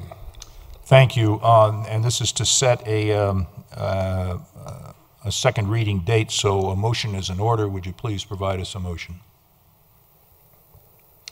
I move to approve Council Bill number 23-2018, an ordinance vacating any interest held by the city of Wheat Ridge in a portion of Miller Street, a public roadway adjacent to 5185 Miller Street on first reading for the sole purpose of ordering it published and for a public hearing set for Monday, September 10th, 2018, at 7 p.m. in City Council chambers, and, if adopted, that it take effect 15 days after final publication. Second. Period. Second by Mr. Urban. Uh, Is there any discussion on the motion? Please poll the council.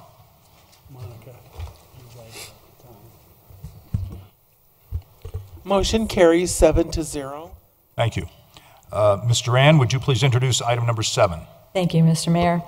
Council Bill Number 24-2018, an ordinance extinguishing any rights or interest held by the city in a slope easement, PE-55A, associated with Taft Court, a public roadway.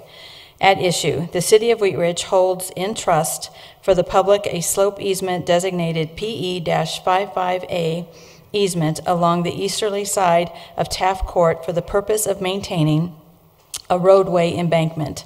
The landowner owner wishes to develop the area of land lying east of Taft Court that includes the embankment currently encumbered by the easement. To, to allow development of the land, the easement must be extinguished. Thank you. This is an ordinance on first reading to set the time and location for a second reading. Um, An ordinance or a motion would be in order. Ms. Duran. I move to approve Council Bill Number 24-2018, an ordinance extinguishing any rights or interests held by the city in a slope easement PE-55A associated with Taft Court on first reading. Order it published, public hearing set for Monday, August 27th, 2018, at 7 p.m. in City Council chambers, and that it take effect 15 days after final publication. Second. Motion by Mr. Rand, second by Mr. Urban. Is there discussion on the motion? Hearing none, will the clerk please poll the council? Motion carries seven to zero. Thank you. Um, Mr. Pond, would you please introduce item number eight? Thank you, Mr. Mayor. Council Bill Number 25-2018, an ordinance vacating any interest held by the city in a portion of Ridge Road, a public roadway. City of Wheat Ridge holds right-of-ways for trust public land. The roadway um, acquired by the Regional Transportation District is excessively wide, just west of Tabor Street. Current street standards can be met with a narrow right-of-way. A strip of right-of-way approximately 20 feet in width along the north side of Ridge Road between Tabor Street and Taft Court is, has been deemed to be excessive and unnecessary by Public Re- Works. Is a motion in order? This is an ordinance on first reading to set the date and location for a uh, second hearing.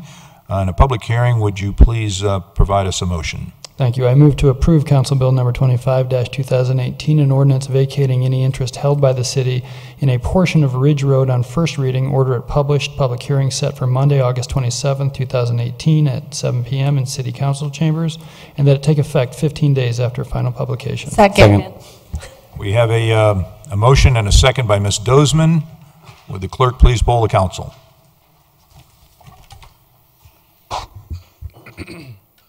Motion carries seven to zero. Thank you. Ms. Davis, would you please introduce item number nine?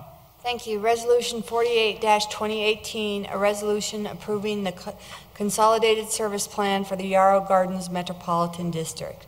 The issue, the City Council is asked to approve the service plan for the Yarrow Gardens Pen- Metropolitan District, a taxing district to be used to finance certain improvements for the residential development. Service plan approval is the means by which the city oversees the creation of such districts, which are ultimately approved for formation by the district court. Um, Prior action, the council received a presentation by the project developer at a study session during which the developer described the purposes for creation of that district. And it looks like maybe perhaps tonight we'll be getting a summary of that? Is that what this is? right Thank here? you. Um, Mr. Goff, do we have a, a report or presentation We on this? do. Um, The applicant is here. Um, Jay Garcia from Thrive Home Builders um, is going to uh, provide a presentation first, and then Kristen Bear with WBA, um, who you saw at a- a previous study session, um, is representing the Metropolitan District, will also give a a quick presentation on the parameters of the Metropolitan District. So Jay, um, if you want to start, uh, presentation's up and ready to go. Okay, Mr. Garcia, if you'd please uh, introduce yourself and uh, um, spell your last name and give us an address and- and proceed. Uh, Jay Garcia, uh, G-A-R-C-I-A. I reside in 2020 Lawrence, uh, Denver, um, and our office is a block away. That's on 1875 Lawrence Street. Um, I'm here this evening, as indicated, to just kind of provide some context and background on who Thrive Home Builders is. Um, you all may remember me from uh, the City Council hearing back in June when we received approval for this project. Uh, but City Manager Goff thought that it would be a good idea to just uh, kind of give you some background and context and um, help some of you remember uh, from the past uh, that we have worked in the city before, although under a different name. And I'll get to that here. Please, please speak, speak into the microphone so we can, we cap, capture all of this. Thank you. quiet. Um, so I thought I'd start just by talking about uh, a little bit of Thrive's approach to home building. And our uh, three legs of the stool, so to speak, are efficient, healthy, and local, as you can see here on your screen. Uh, we really pride ourselves in being innovators in efficient design, uh, both in zero energy ready homes, but LEED for homes and Ener- Energy Star as well. Um, we've helped to develop and enhance certain programs for clean indoor air quality, water quality and efficiency, and just um, you know help to promote healthier building materials as well.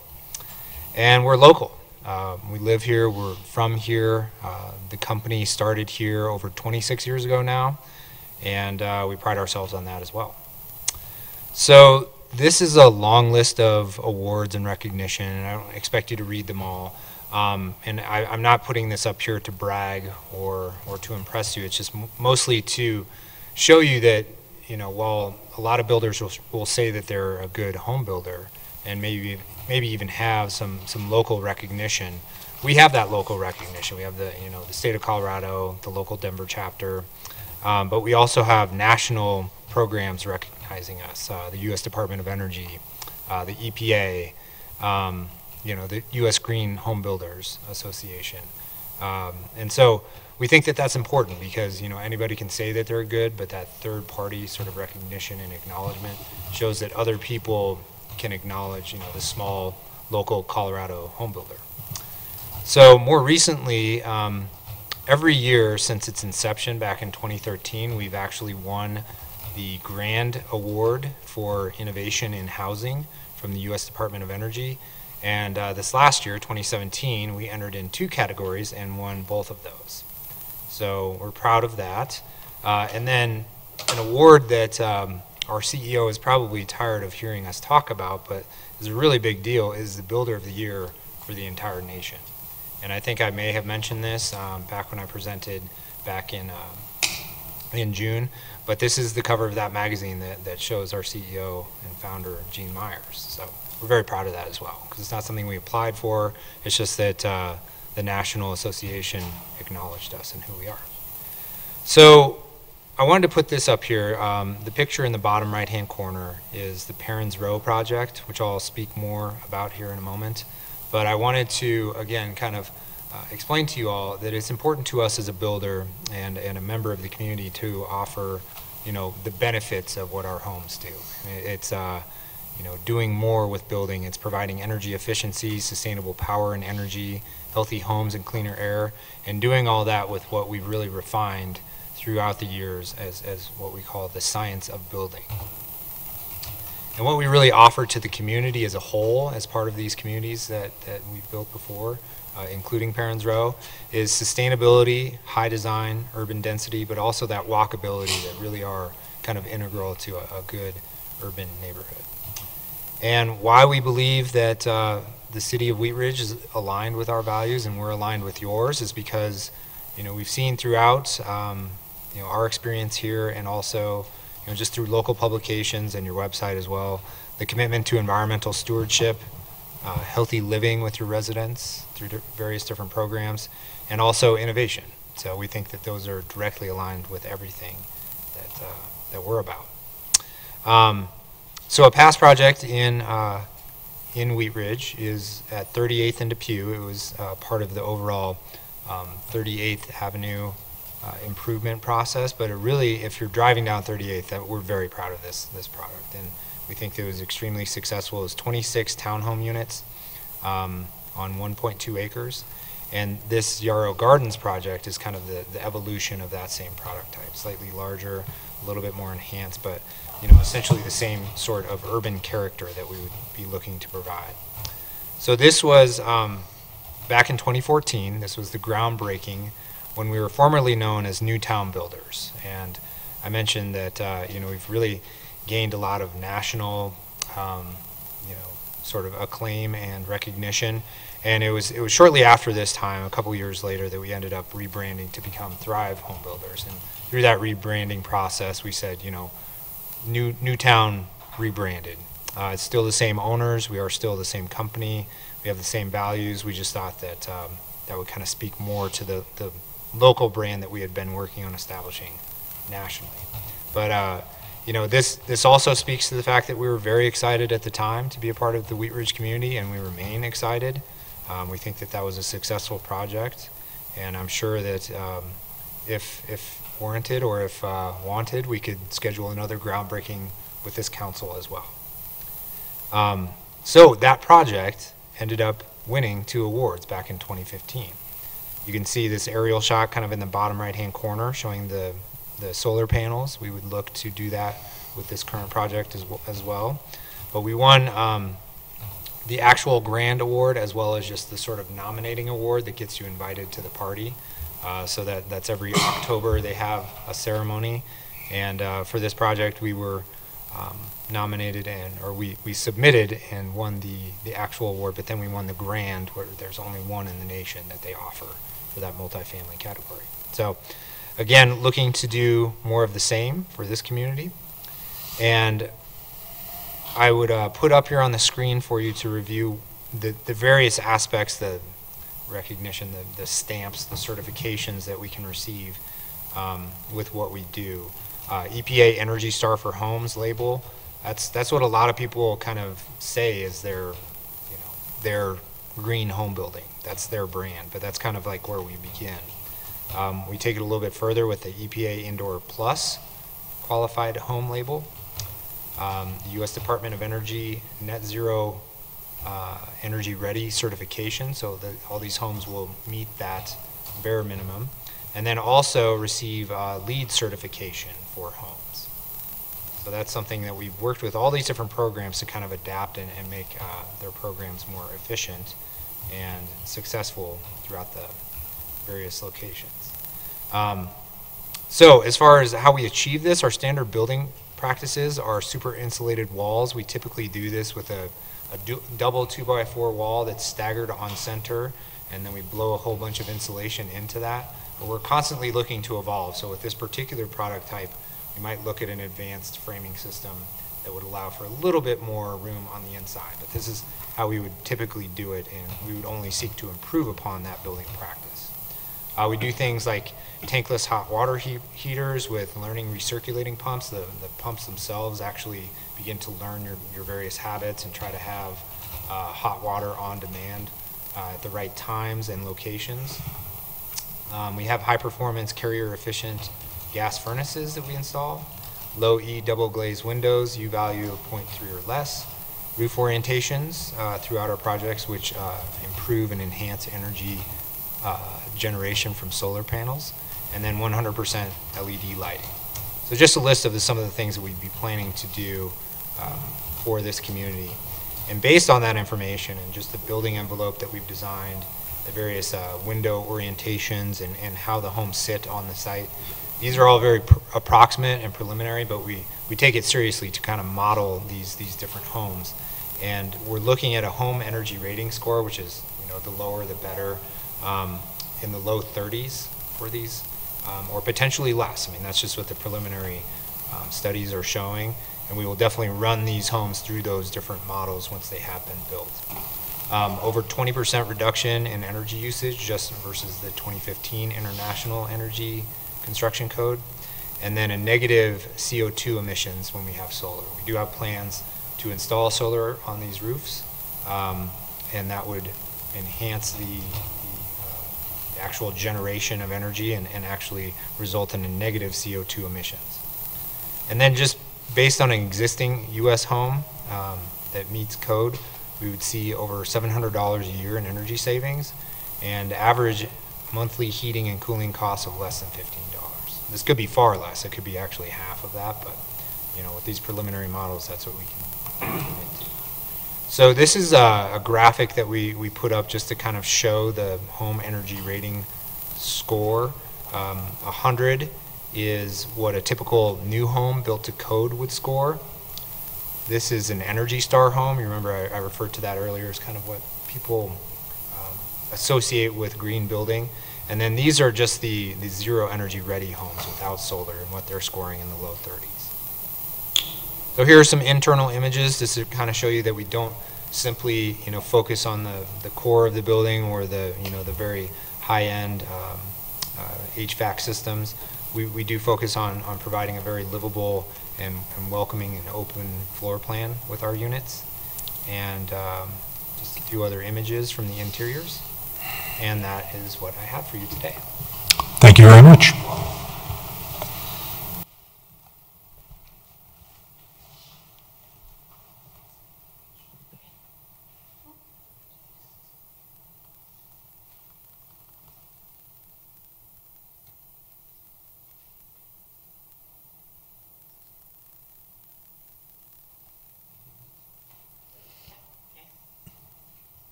Hello, everybody. Nice to see you again. Kristen Bear with the law firm of White Bear, Ankele, uh, Waldron, and Tanaka. Address is 2154 East Commons Avenue, Suite 2000, Centennial 80112. So I'm going to be pretty quick because you've gone over this at study session, but I wanted to go over some of the higher points of the service plan. Uh, and again, I'm going to make it very abbreviated so that we can get to any questions you might have relative to this district specifically or districts in general in Colorado. So the overall authorization and purpose, again, we are providing for a service plan that gives authorization to this district as is provided in Title 32. The restrictions that we've discussed are primarily financial in nature. This district will have the authorization not only to finance the public infrastructure, construct the same, but also to provide operation and maintenance to the residents and property owners that purchase homes in the future, as well as provide covenant control and architectural types of enforcement that you would normally otherwise see with an HOA.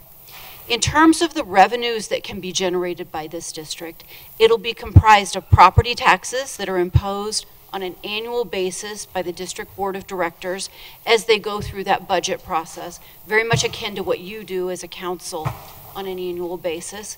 We will also have specific ownership taxes that are available to the district. And again, these are automobile registration taxes that are allocated as to all of the um, governmental entities that impose mill levies in the state. We get an allocation of that. And then fees and charges would be imposed by the district for purposes of certain operation and maintenance expenses. In terms of the financial authorization, again, what we've proposed in the service plan is a maximum debt authorization of $6 million. That would be funded by a maximum mill levy of 60 mills um, until the debt is below 50% total debt to assessed. At that time, that mill levy cap would fall away. That is a statutory type of um, cap limit, and it falls away under statute based upon the legislature's determination that at 50% debt to assessed, that's a relatively safe threshold for the district to go unlimited. Again, that mill levy will adjust as the state adjusts its residential assessment ratio. So right now we're at 7.2%. The legislature makes that determination uh, uh, every other year. The maximum debt mill levy imposition term is 40 years. So the district would have the ability to levy that debt mill levy cap for a period not to exceed 40 years. At that point in time, those residents could determine to come back to you for some further authorization as part of a service plan amendment. The financing plan that's attached to the service plan shows the debt that's anticipated to be issued by the district. So again, we have a 60 mill levy cap, but we are estimating that the mill levy that's necessary to service the debt in that financing plan is a little bit less than that at 55.277 mills. We're anticipating two separate series of debt to be issued by the district. One would be in 2018 for a total of about $3.5 million. Out of that $3.5 million, there would be construction funds of a little over 2.5 million that would be dropped into a construction fund and the district would use that as an ongoing basis to either construct the improvements through the district itself or to reimburse the developer, just depending on timing and uh, funds that might be available based on timing. There's a Series 2028 bond that is also anticipated with a par amount of 5.5 million. That's a little bit different in that as part of that series of bonds, we would be refunding the bond issue that would be issued in 2018 and raising some new money to the extent there were additional public improvements that needed to be reimbursed to the developer or put in at that time. In terms of the operation authorization, we do not have a cap, a mill levy cap, relative to operation and maintenance types of services that will be provided to the district. The district will be providing the same types of services that an HOA would otherwise provide. And so the homeowner is really not going to see a difference in terms of the services that will be provided by the district versus an HOA other than it will be a single entity that provides the service. So there will be some cost savings associated with that because we won't have duplicative types of administrative services and it will be a more streamlined point of contact for that homeowner. So again, the district is going to replace the HOA. We are anticipating about eight mills as part of the financing plan that's attached to the service plan. But again, as part of the district budgeting process on an annual basis, that's going to be determined by the board of directors in terms of what property tax is going to be imposed for operation maintenance services and any additional fees and charges that might be necessary for the district at that point. So the district is going to be run by an elected board of property owners and residents as development progresses, and they will be making those determinations on an ongoing basis as this, this community develops. So the property tax calculation, this is a little bit different than I showed you before because I have put the mill levy that you see here at the 55.277, showing exactly what that resident might be expected to pay towards the district for debt, which is uh, $1,790. At the study session I had, it just ramped up to 60. And that is based upon the 7.2% residential assessment ratio that's in place in Colorado right now. So the next steps, assuming that we can get the service plan approved by you tonight, which we are, of course, requesting, we would be filing a petition to the district court in Jefferson County for purposes of requesting that they allow us to hold an election on this matter. That election would be held on November 6th. We would be asking those electors to organize the district, elect the initial board of directors, and to authorize tax and debt of the district as is permitted in the service plan. Assuming that election passes, we go back to the district court, file the documentation with respect to the election itself, and the district court would issue an order for the organization of the district. At the point at which that's actually recorded on the property, the district becomes legally effective uh, for all purposes. So again, I know I've gone through this very quickly and would be happy to answer any questions you might have about the service. Thank you very much. Thank you. Questions from council? Mr. Urban. Thank you, Mr. Mayor. Um, My question is for the city attorney. Uh, With respect to the, uh, this service plan, wh- where does our Chapter 13 of our charter come to play as it relates to the creation of improvement in special districts? And uh, I understand there's a petition relative to the district court, but is there not also a petition that is required to the city council in the same manner? Well, let me look.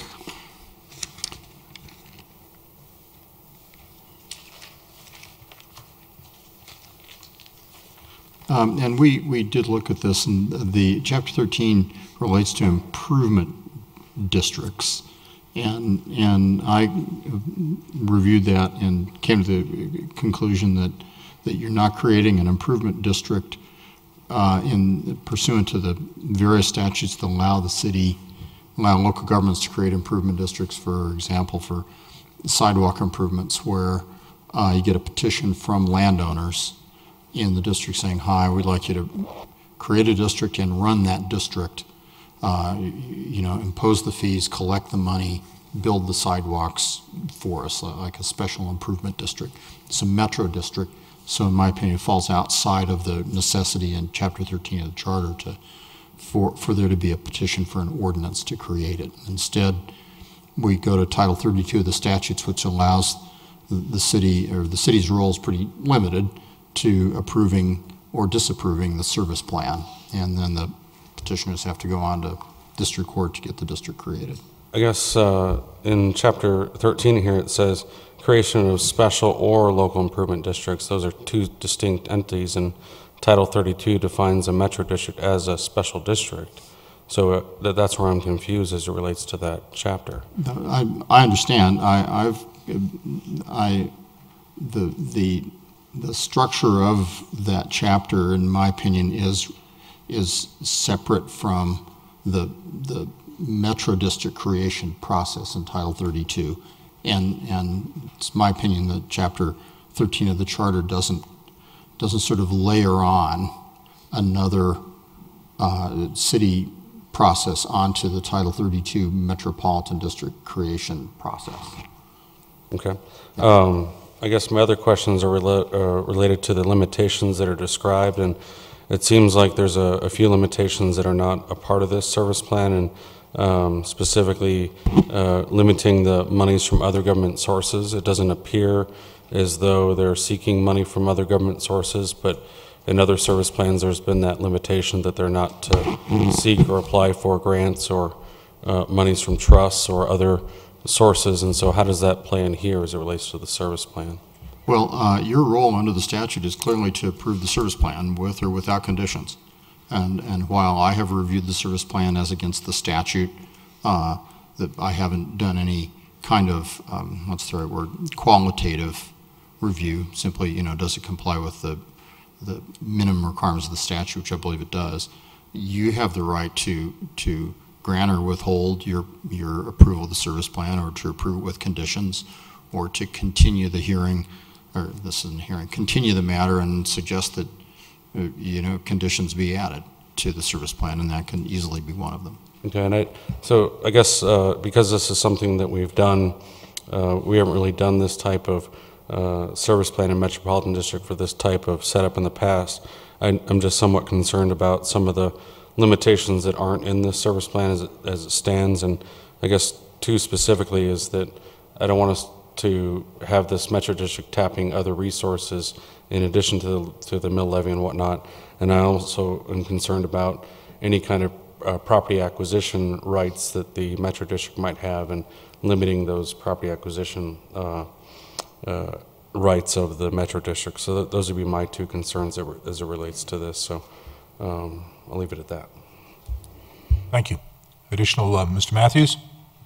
Thank you, Mr. Mayor. I also, I have some questions too, and I'm glad Zach mentioned that, so I'll, I'll go to section seven here on dissolution. I've worked around metro districts for a long time, and some have been very good, and some of them have been very abusive. As a contractor, I did work for both. Um, metro districts tend to be like a bad cold. They never seem to go away.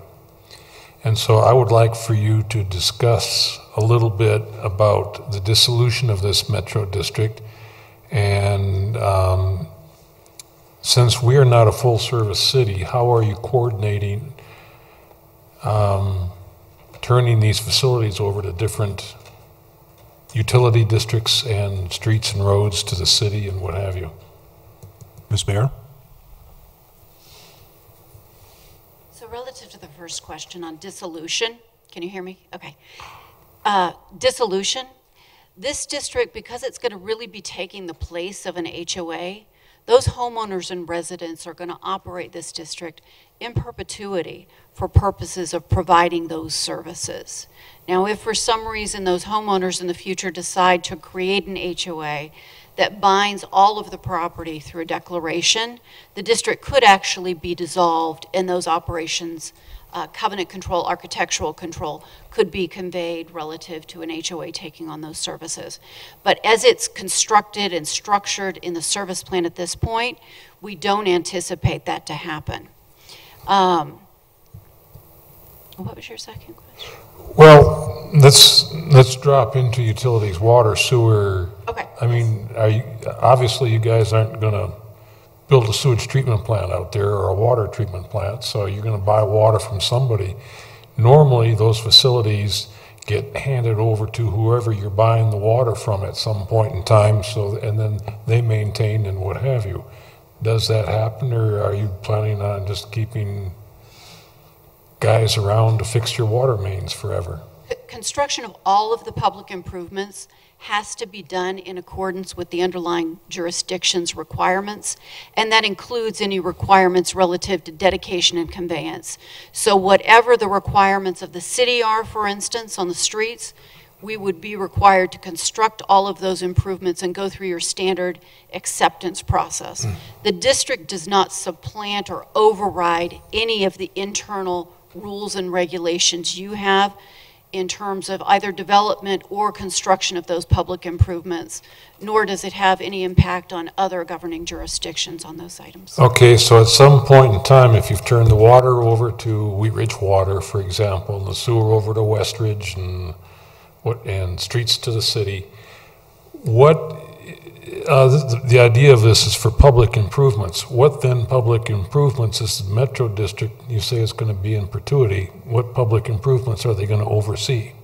There will be some landscaping that is part of park areas that is not turned over to the city. There will be some sidewalks. There will be, again, the architectural and covenant control that the district continues to, to operate.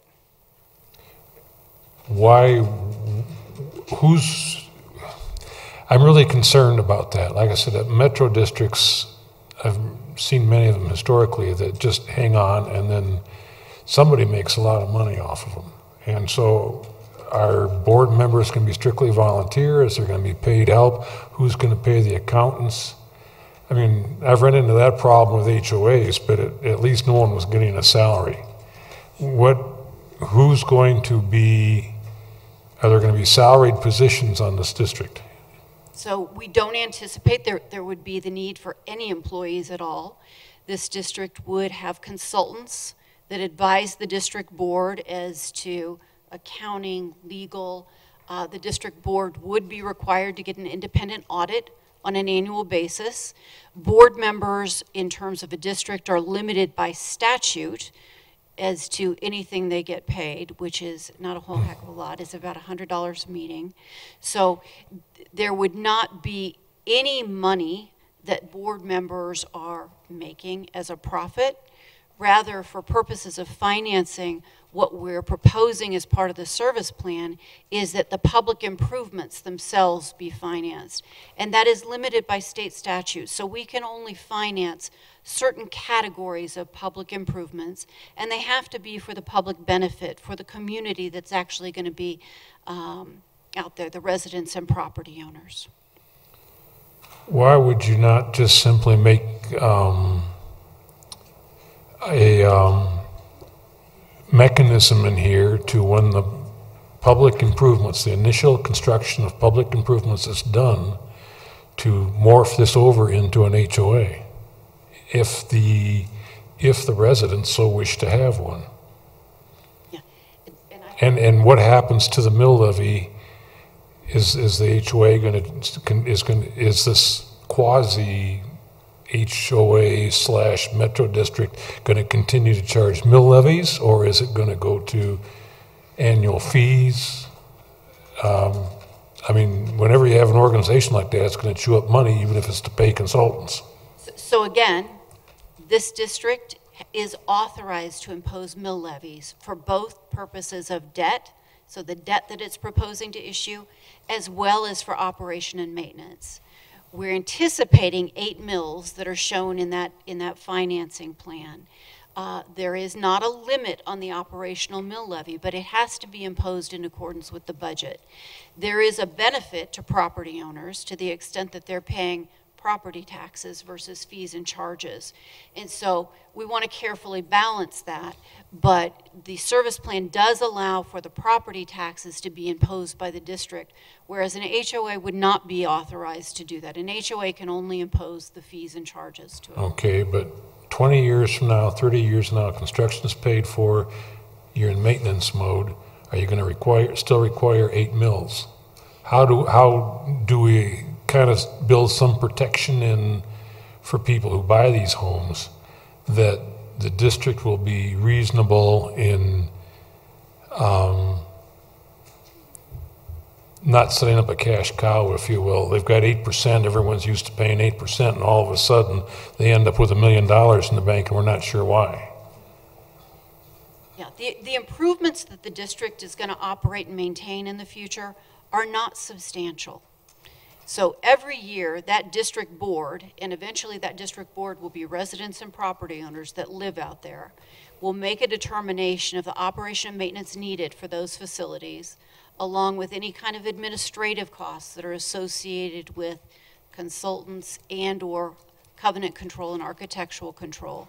And they will make that budget. They will impose a mill levy that's equal to the expenditures that it anticipates plus any fees and charges.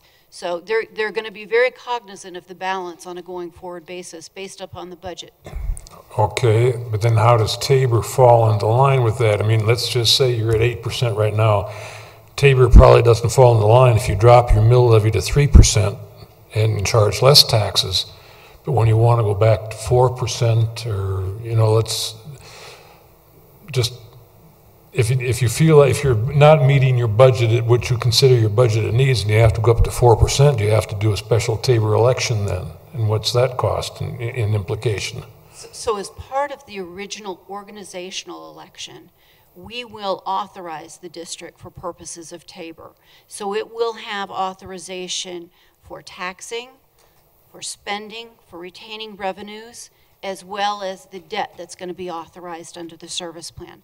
So that election will occur as part of that organizational process. If in the future, 40 years down the road, those homeowners want to build a pool in the middle of the neighborhood and no longer have Tabor authorization, they will have to go back to the voters and vote for further Tabor authorization if they want to issue more debt. Um, But- But we get the initial authorization up That's what I'm saying, but once you go back, if, if, if, once you pay off your construction costs, maintenance hopefully will be less, and you drop your mill levy to three, do you need to go to back to Tabor to go up to four? No, we will not need to do that because we will get that initial authorization as part of that organizational election.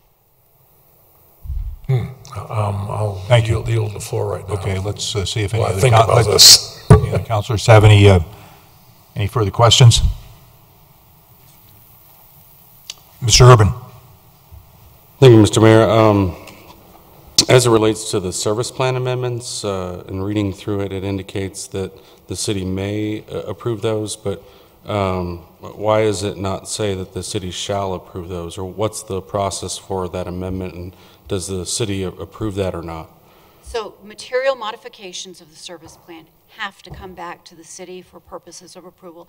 It would be through a, a similar process that we're going through right now. Mhm. So, for instance, if the district needed to or wanted to increase that debt service mill levy from 60 to 70, those, that board of directors would have to come before the council again and make the case for that, based upon an updated financing plan and updated service plan provisions. Okay, thank you. And then uh, my last question is uh, for the city attorney. Um, So are we both approving a, a service plan here as well as an IGA? And how are we, how are we entering into an IGA with an entity that currently doesn't exist? Uh, And I appreciate you asking that question, actually. I was just talking with the city manager about sort of the, the, uh, the timing of that. The service plan does say the city council shall approve the intergovernmental agreement attached as Exhibit E uh, at the hearing or at the time of the uh, service plan approval. What I would suggest, are sort of two options here. What I would suggest is we can add to the, to the motion that's in the packet right now approves the resolution uh, approving the, the service plan, and in connection therewith, the intergovernmental agreement attached as Exhibit E, conditioned upon the district court approving the formation of the proposed district. That way, the, the- if the, in the event the district court, you, you approve the service plan, but in the event the district court doesn't approve the creation of the district, then the, the mayor and the city clerk and myself won't be authorized to sign the uh, intergovernmental agreement. And I guess as it relates to the, at what point in the process is the approved development plan signed off, and is it the district court that signs off on that, or are we the ones signing off on that? The service plan? Not the service plan, the, the, I understand there's a development plan that follows after the service plan, am I? We're talking about the development of the, the land use? Not necessarily land use, but I understand the Metro District also has a development plan as well, I, I could be wrong. I'd like to have them address that. All we're looking at tonight for us is service plan. Not as part of the service plan or organizational process. Right. There's not a separate development plan that the district goes through. Rather, the developer entity goes through all of the development approvals necessary for Mhm. purposes of the residential development as part of your standard process. Okay, thank you. Thank, uh, Ms. Davis. Um, so I have just a couple comments. So, um, I mean, this is, again, a new, um, kind of model that we're not used to here in Wheat Ridge as far as with this mill levy being attached to homes this, as such, uh, this, at least in my time. Um, so, I'm glad to see that you're disclosing it with the agreements when you're selling the homes, which is something that's not always there. So I'm glad to see that, and I appreciate that. Although doing a little homework um, with some realtors and talking to a few people, it is not uncommon. So that makes me feel a little bit uh, better. Uh, but it is always not common that it's disclosed. So I thank you. Um, and and didn't know it was New Town, which makes me happy because I think um, we've had good relationships with New Town before, and um, with Gene, so that's good too. Um, I, and so I, I do think um, that's that's a, a good relationship we've had in the past. Um, it, it, it's going to be interesting this site. Um, as people know, it's in my district and in my neighborhood.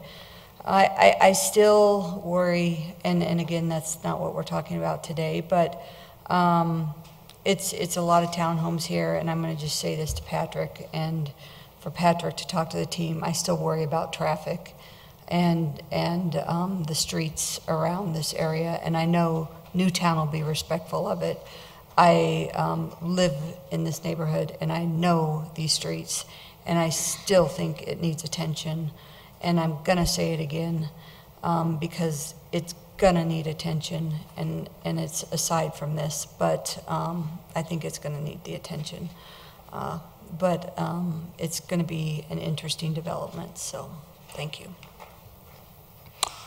Mr. Mathews, I'll let you continue, but we, you've, you've had quite a bit of time on this already, so. And thank you. Uh, just briefly, I I wish to clarify that I'm not doubting the integrity of anybody that's currently in the room.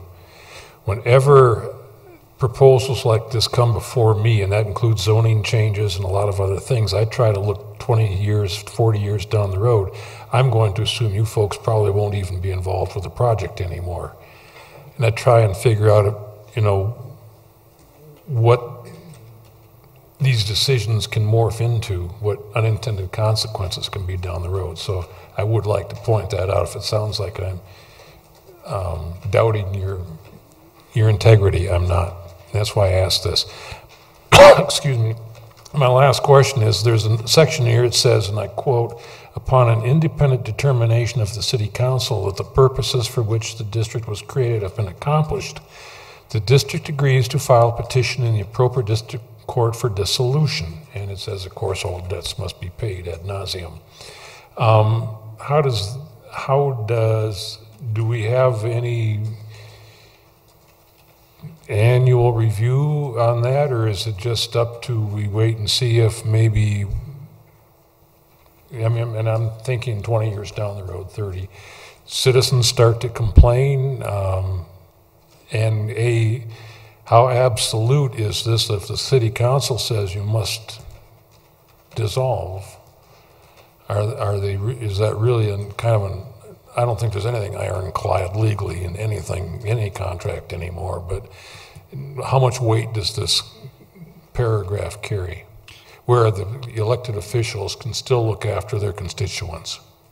Fair enough. A Couple of things I, would like uh, um, Ms. Bear to address the sort of the process for dissolution and how that is triggered and how that can be triggered by the city. Uh, but uh, part of your question was, well, do you hear about this district ever? Are there any kind of annual reports?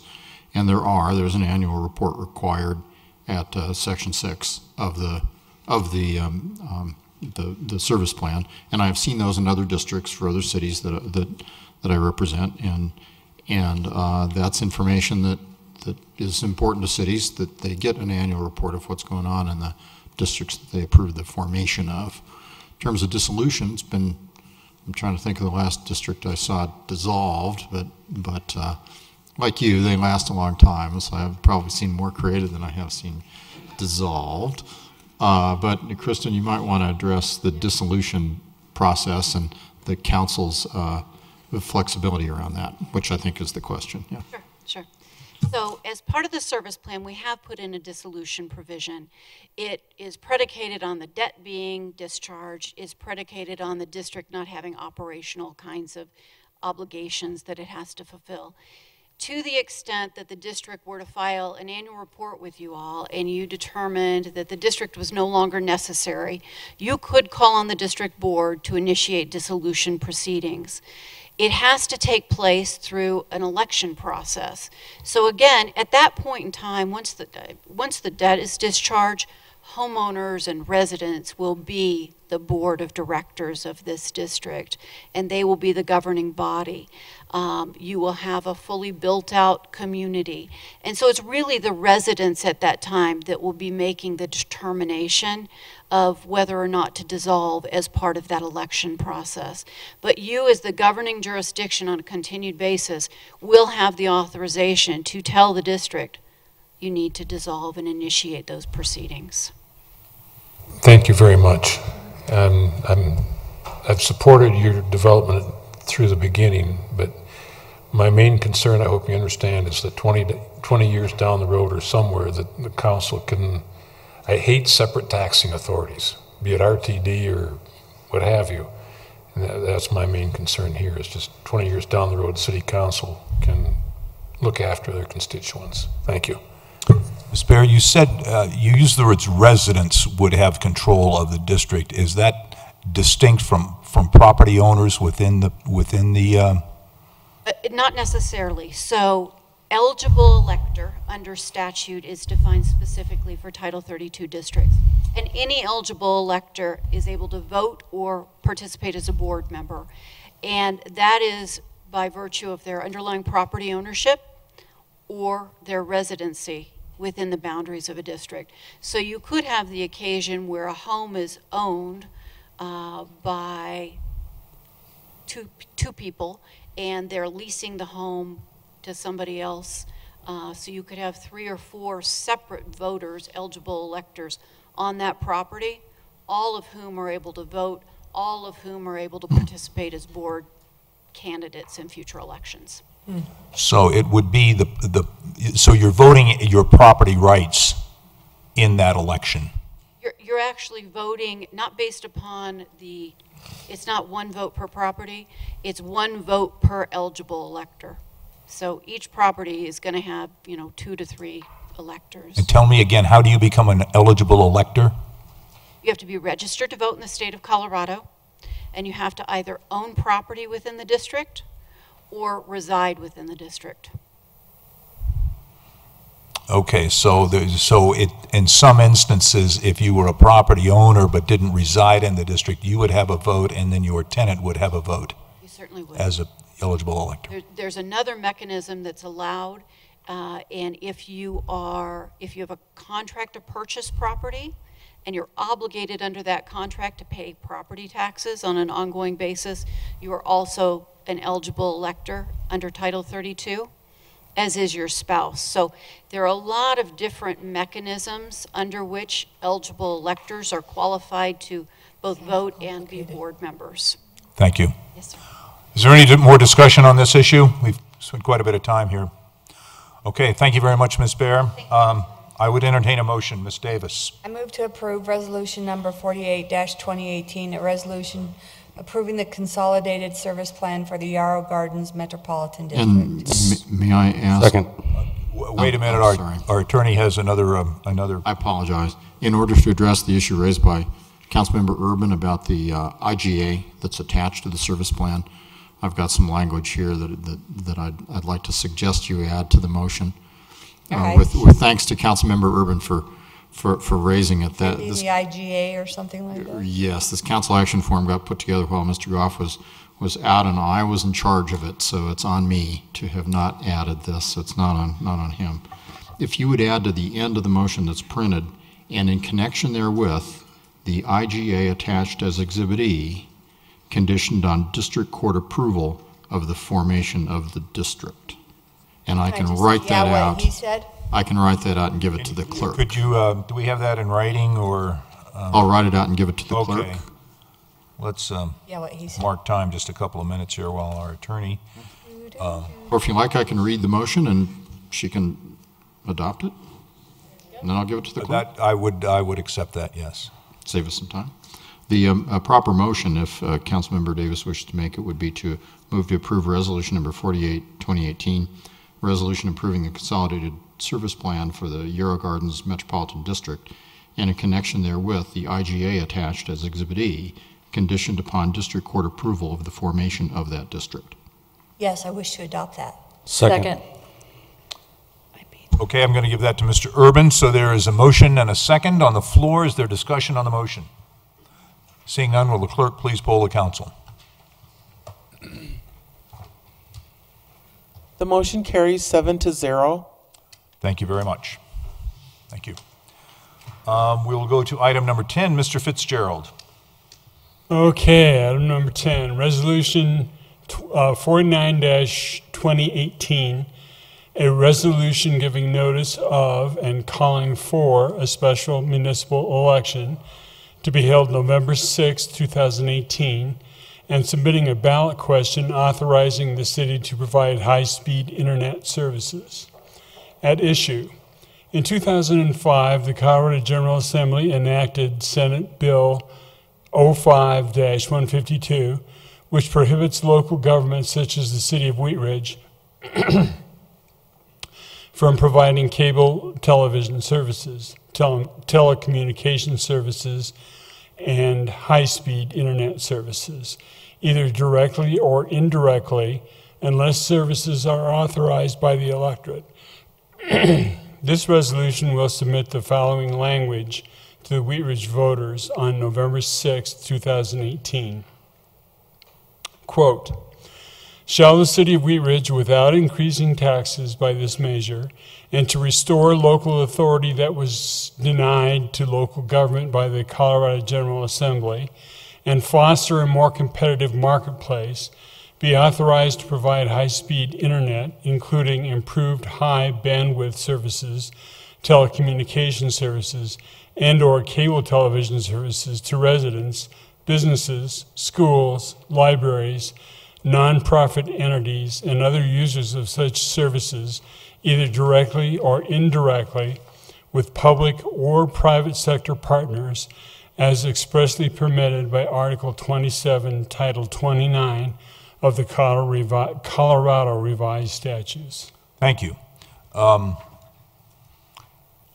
Do you have a staff report or any, anything you all want to say on this matter? I don't. The only thing I'll, I will add is I removed um, the language that was um, agreed to agreed upon by council to remove at the study session, and I, I believe it was um, a phrase that said um, any um, including new technologies, um, and so we did remove that language.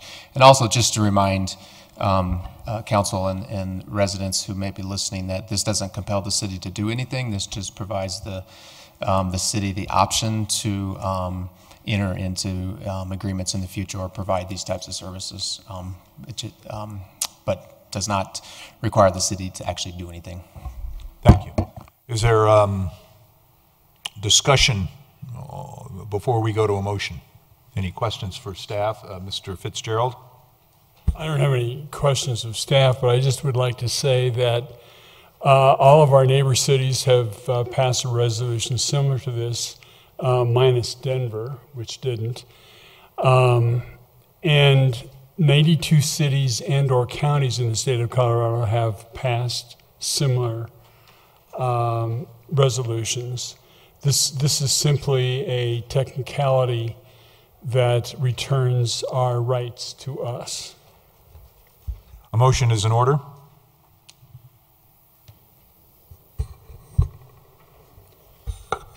I move to approve resolution number 49-2018, a resolution giving notice of and calling for a special municipal election to be held November 6, 2018, and submitting a ballot question authorizing the city to provide high-speed internet services. Second?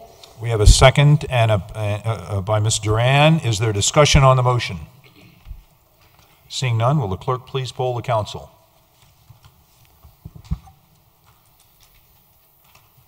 Motion carries seven to zero. Thank you. Uh, That concludes the agenda items on our business, uh, oh, wait a minute, oh, this, um,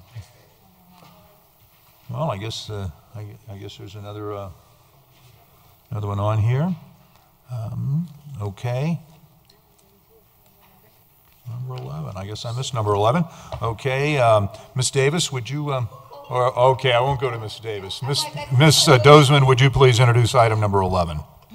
Resolution 50-2018, a resolution giving notice of and calling for a special municipal election to be held November 6, 2018, and submitting a ballot question authorizing the city to retain revenues in connection with 2016 ballot question 2E.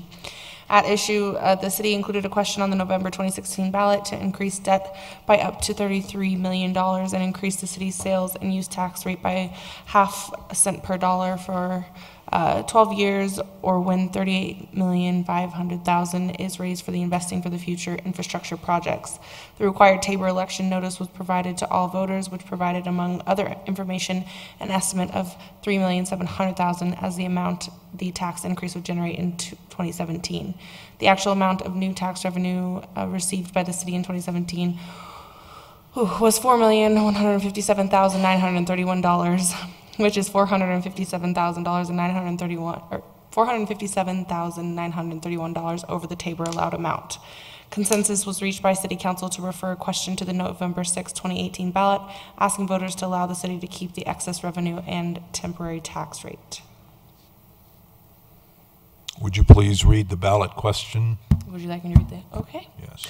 Shall the city of Wheat Ridge be entitled to retain all revenues from the 2016 voter-approved ballot question 2E, investing for the future, half cent per dollar sales and use tax rate increase, and to continue to collect the tax at the half, per- half cent per dollar rate and expend said revenues, including any interest and investment income therefrom, until revenues from such tax increase reach 38.5 million or December 31st, 2028, whichever occurs first, in the following ways directed by the voters in 2016.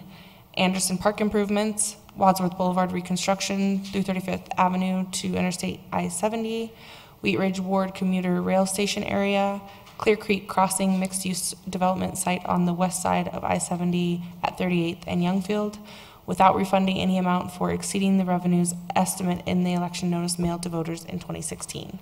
Thank you. Uh, Mr. Goff, any, any further uh, Uh, comments Just real this? briefly, uh, um, we added the language that uh, was um, requested by Mr. Urban um, to make sure that the voters understood that this was still capped at 38.5 million or December 31st, 2028, whichever occurs first. Thank you. Any, um, any discussion before we go to a motion? Uh, Ms. Dozeman, would you give us a motion on this? Yes, sir.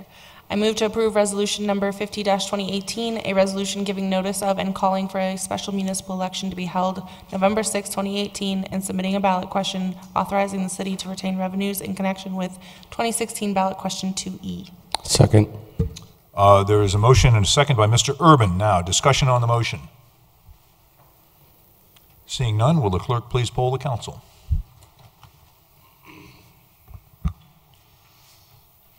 Motion carries seven to zero. Okay, well, I hope that takes care of our business portion of our meeting. My- My apologies. Um, So we will move to city managers' matters. Thank you, Mr. Mayor. Um, I think, as you all know, RTD has, has ramped up to multiple train service um, testing on the G line um, as of Sunday, August 3rd, I believe it was. Um, so RTD is hoping that um, they will be able to um, provide all the uh, evidence that they need to in a 21-day period for the Federal Railroad Administration to sign off. Um, so keep your fingers crossed on that. Um, the uh, you may be hearing train noises. Um, they still have to blow their horns. I think I'm not sure if this is impacting Wheat Ridge residents that much, but mainly Arvada residents. So they are they are, are getting some complaints in Arvada, but. Just so our public understands, I, I do hear it at my house a little bit once in a while. Um, the train horns will still be blowing for quite some time until um, the quiet zones are approved um, by the um, RTD, actually approved by the Federal Railroad Administration and the PUC. Um, we have submitted the initial, um, what's called notice of intent to apply for quiet zones back in 2015. Um, the next step is to apply for a notice of establishment of those quiet zones, and we cannot do that until we get um, permission from the FRA and the PUC to do that. Um, once once the um, NOE is is is accepted, um, the FRA usually um, takes a 21-day period, another 21-day period to review that before any quiet zone um, is approved. So um, the horns will be blowing um, for some time still, um, but hopefully um, the quiet zone approvals will, will happen quickly. Thank you. Thank you. Uh, City Attorney's matters. Nothing to the, nothing tonight, thank you. Thank you very much. We will go to elected official matters and start with our clerk, Ms. Shaver. Okay. Um, first of all, I want to I want to say something ha- um, happy. Good news first. Um, the festival was amazing. Um, Joe DeMott and Walt Pettit and Leah Dozeman, just hats off. And I know there's lots of other people that were involved, and I don't even know who you are, but thank you, thank you, thank you. And the fireworks were absolutely amazing. They are taller than ever before because Saturday night we didn't go down and watch them. We were up on the hill at our house, and usually we could just barely see the tall ones above the trees. These were like way up above the trees, and so I know they were higher than they've ever been before. Um, and then I wanted to t- something sad. Um, we, we've lost a fixture in our community. Um, if any of you know the waitress named Gail at Apple Ridge Cafe, she passed away last Thursday. And she has worked at Apple Ridge for 28 years. And I just found out today, I didn't know, I didn't know her name, just she was just Gail. And grandma, yeah, and other people called her grandma. And she was sort of this tough and yet sweet lady from Texarkana, Texas. She had still had her Texarkana accent and just a real nice woman. And she could be tough when she had to and uh, make things happen, but um, she was just just a delight. And she's been around for so long. And the folks at, um, there's not going to be a service, but um, uh, on Sunday, the August 26th, um, they're tentatively that uh, they're planning um, kind of a little memorial event for her um, on Sunday afternoon after the um, restaurant closes for they usually close at two o'clock and um, I, the time they said they're not too sure about that yet but i'm sure you can if you stop in there sometime you can find out but really going to miss her it's it's kind of funny the not funny haha funny but just the people that are in the community that are just part of your life and you really don't know a lot about them. I mean, but over the years we learned she was so proud of her grandchildren and and all, all like that. And she'd had some health issues most recently, but um, they people like that, cashiers and waitresses and bank tellers that you interact with for long periods of time, and then all of a sudden they're gone, and it and you don't know how to. Um, you know, get to their families or anything, but um, they'll, they'll be missed. So Gail was just, she's just so great. Um, she gave me two cookbooks once, and she was very, um, uh, always talking about how at Thanksgiving she would make seven up cakes and hummingbird cakes. So it's just, she's just a, a good old Southern cook, and um, just will miss her, and I just wanted to share that with everybody. Well, thank you Please, very- thank everybody you. has their Gail memories, I'm sure. Thank you for that uh, kind remembrance. Mr. Ann, Yes, I do have one item. A citizen was in earlier, David Allenberger, who requested that we have a conversation, maybe at a study session, um, considering a resolution, signing on to um, reauthorizing the funding for our land and water conservation. So I would just like to request that we put that on a study session. It's going to expire the end of September. So if you could take a look, and um, I think Councilman Urban will support me in that request. we will uh, ask our um, Mayor Pro Tem to get that on the schedule. Thank you. Uh, Mr. Urban? Thank you, Mr. Mayor. Uh, uh, You're also known as the reserve champion for the uh, uh, 4-H uh, Celebrity Live Auction that was uh, held on no Sunday. So uh, both uh, Mayor Starker and I had a great time participating in the 4-H auction. Just want to say thank you again to the Clark family for inviting us and uh, teaching us to- how to show a pig, but I'm pretty sure the pig showed us. Um, But uh, really appreciate uh, the opportunity to visit with the 4-H students there, and uh, also thank everybody that came out to the Carnation Festival. And I- I I too agree, it was uh, one of the better shows, and uh, really appreciated all the uh, work by the city staff and the police department and all their efforts, so thank you. Thank you. Uh, Mr. Fitzgerald? Nothing tonight, thank you. Thank you. Mr. Mathews? Thank you. Thank you. Thank you, not tonight. Ms. Dozeman? Yeah, so I just want to reiterate uh, the many thanks that we have for the city for helping us put on the Carnation Festival. And I just wanted to kind of um, state some of the organizations that the Carnation Festival directly uh, contributes to. So we have the Rotary Club and the Optimist Club serving beer, um, and they, they get a, a portion of those sales each year. The spaghetti dinner goes uh, to support the West Metro Fire Department, and the de- uh, fire department actually uh, served the entire spaghetti dinner. Um, and Anthony DiTullio cooked all of the food at Pietra's. Uh, so I I just wanted to kind of give them a shout out. And then Dominic had uh, mentioned the school benches, all of which went for over $150. Um, and th- they directly benefit each school that decorated them. And I just wanted to thank you all again, and I'm ready to gear up for the 50th, so I hope you are too. Thank you. Ms. Davis? So I just want to thank everybody uh, for the Carnation Festival. I think it's hard to name names because there's a ton of people. So I just want to thank everybody. And I was out there pouring beer, so it was fun. I saw you. I thought, thought we might need to card to you to make sure you were old enough to sell. Thank you. Mr. Pond?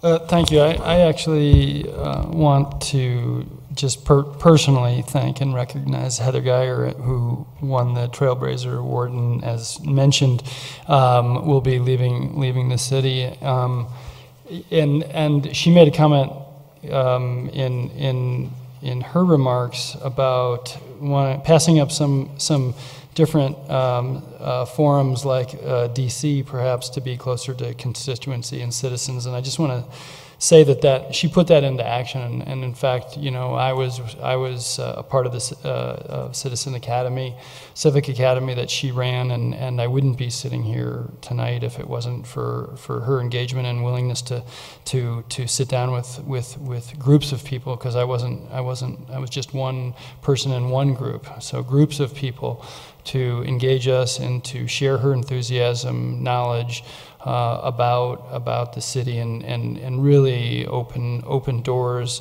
uh, to some of us who who felt uh, inspired to. Um, to to become active and, and to participate, which you know isn't always an easy thing, and, and, and by all means, Heather made it made it much easier, and uh, I want to thank her for that. Thank you. And um, I will echo that and uh, thank, thank Heather for the service she's given our city and uh, wish her best in her new position. And uh, we look forward to working her with her uh, because we do a lot of uh, collective things in our, in our community. Um, I'd like to also echo uh, my thanks to the uh, uh, Carnation Festival. A lot of people participate in that. A lot of people work hard to put it on. It's a, it's a great time and uh, and it really shows that we have a we have really an extraordinary community. Uh, I'd like to thank the Clark family for uh, inviting us to uh, to show their swine, which were uh, elegant animals, and uh, and really a really a learning experience for me. And they made us feel very welcome, and and that was a lot of fun. So. Thank you very much. It makes me makes me really happy to, to live in this community because of all the great people and and pigs that live here. So, with uh, any more uh, good of the order, we will uh, stand adjourned. Oh, one more one more thing. Sorry, this just got passed out. Um, the Kiwanis of Wheat Ridge are having an open house networking event this Thursday, August 16th at 7 a.m. Uh, at Davies Chuck Wagon, uh, which is off of 26th Avenue here in Wheat Ridge. So I just want to put a plug in for that. The Kiwanis is a global organization of volunteers dedicated to improving the world one child and one community at a time. They do great things in this uh, community, and they were also at the Carnation Festival. So go in and support them. Another way to give back and, uh, and meet, meet some great people in your community. So with that, we will stand adjourned. Thank you.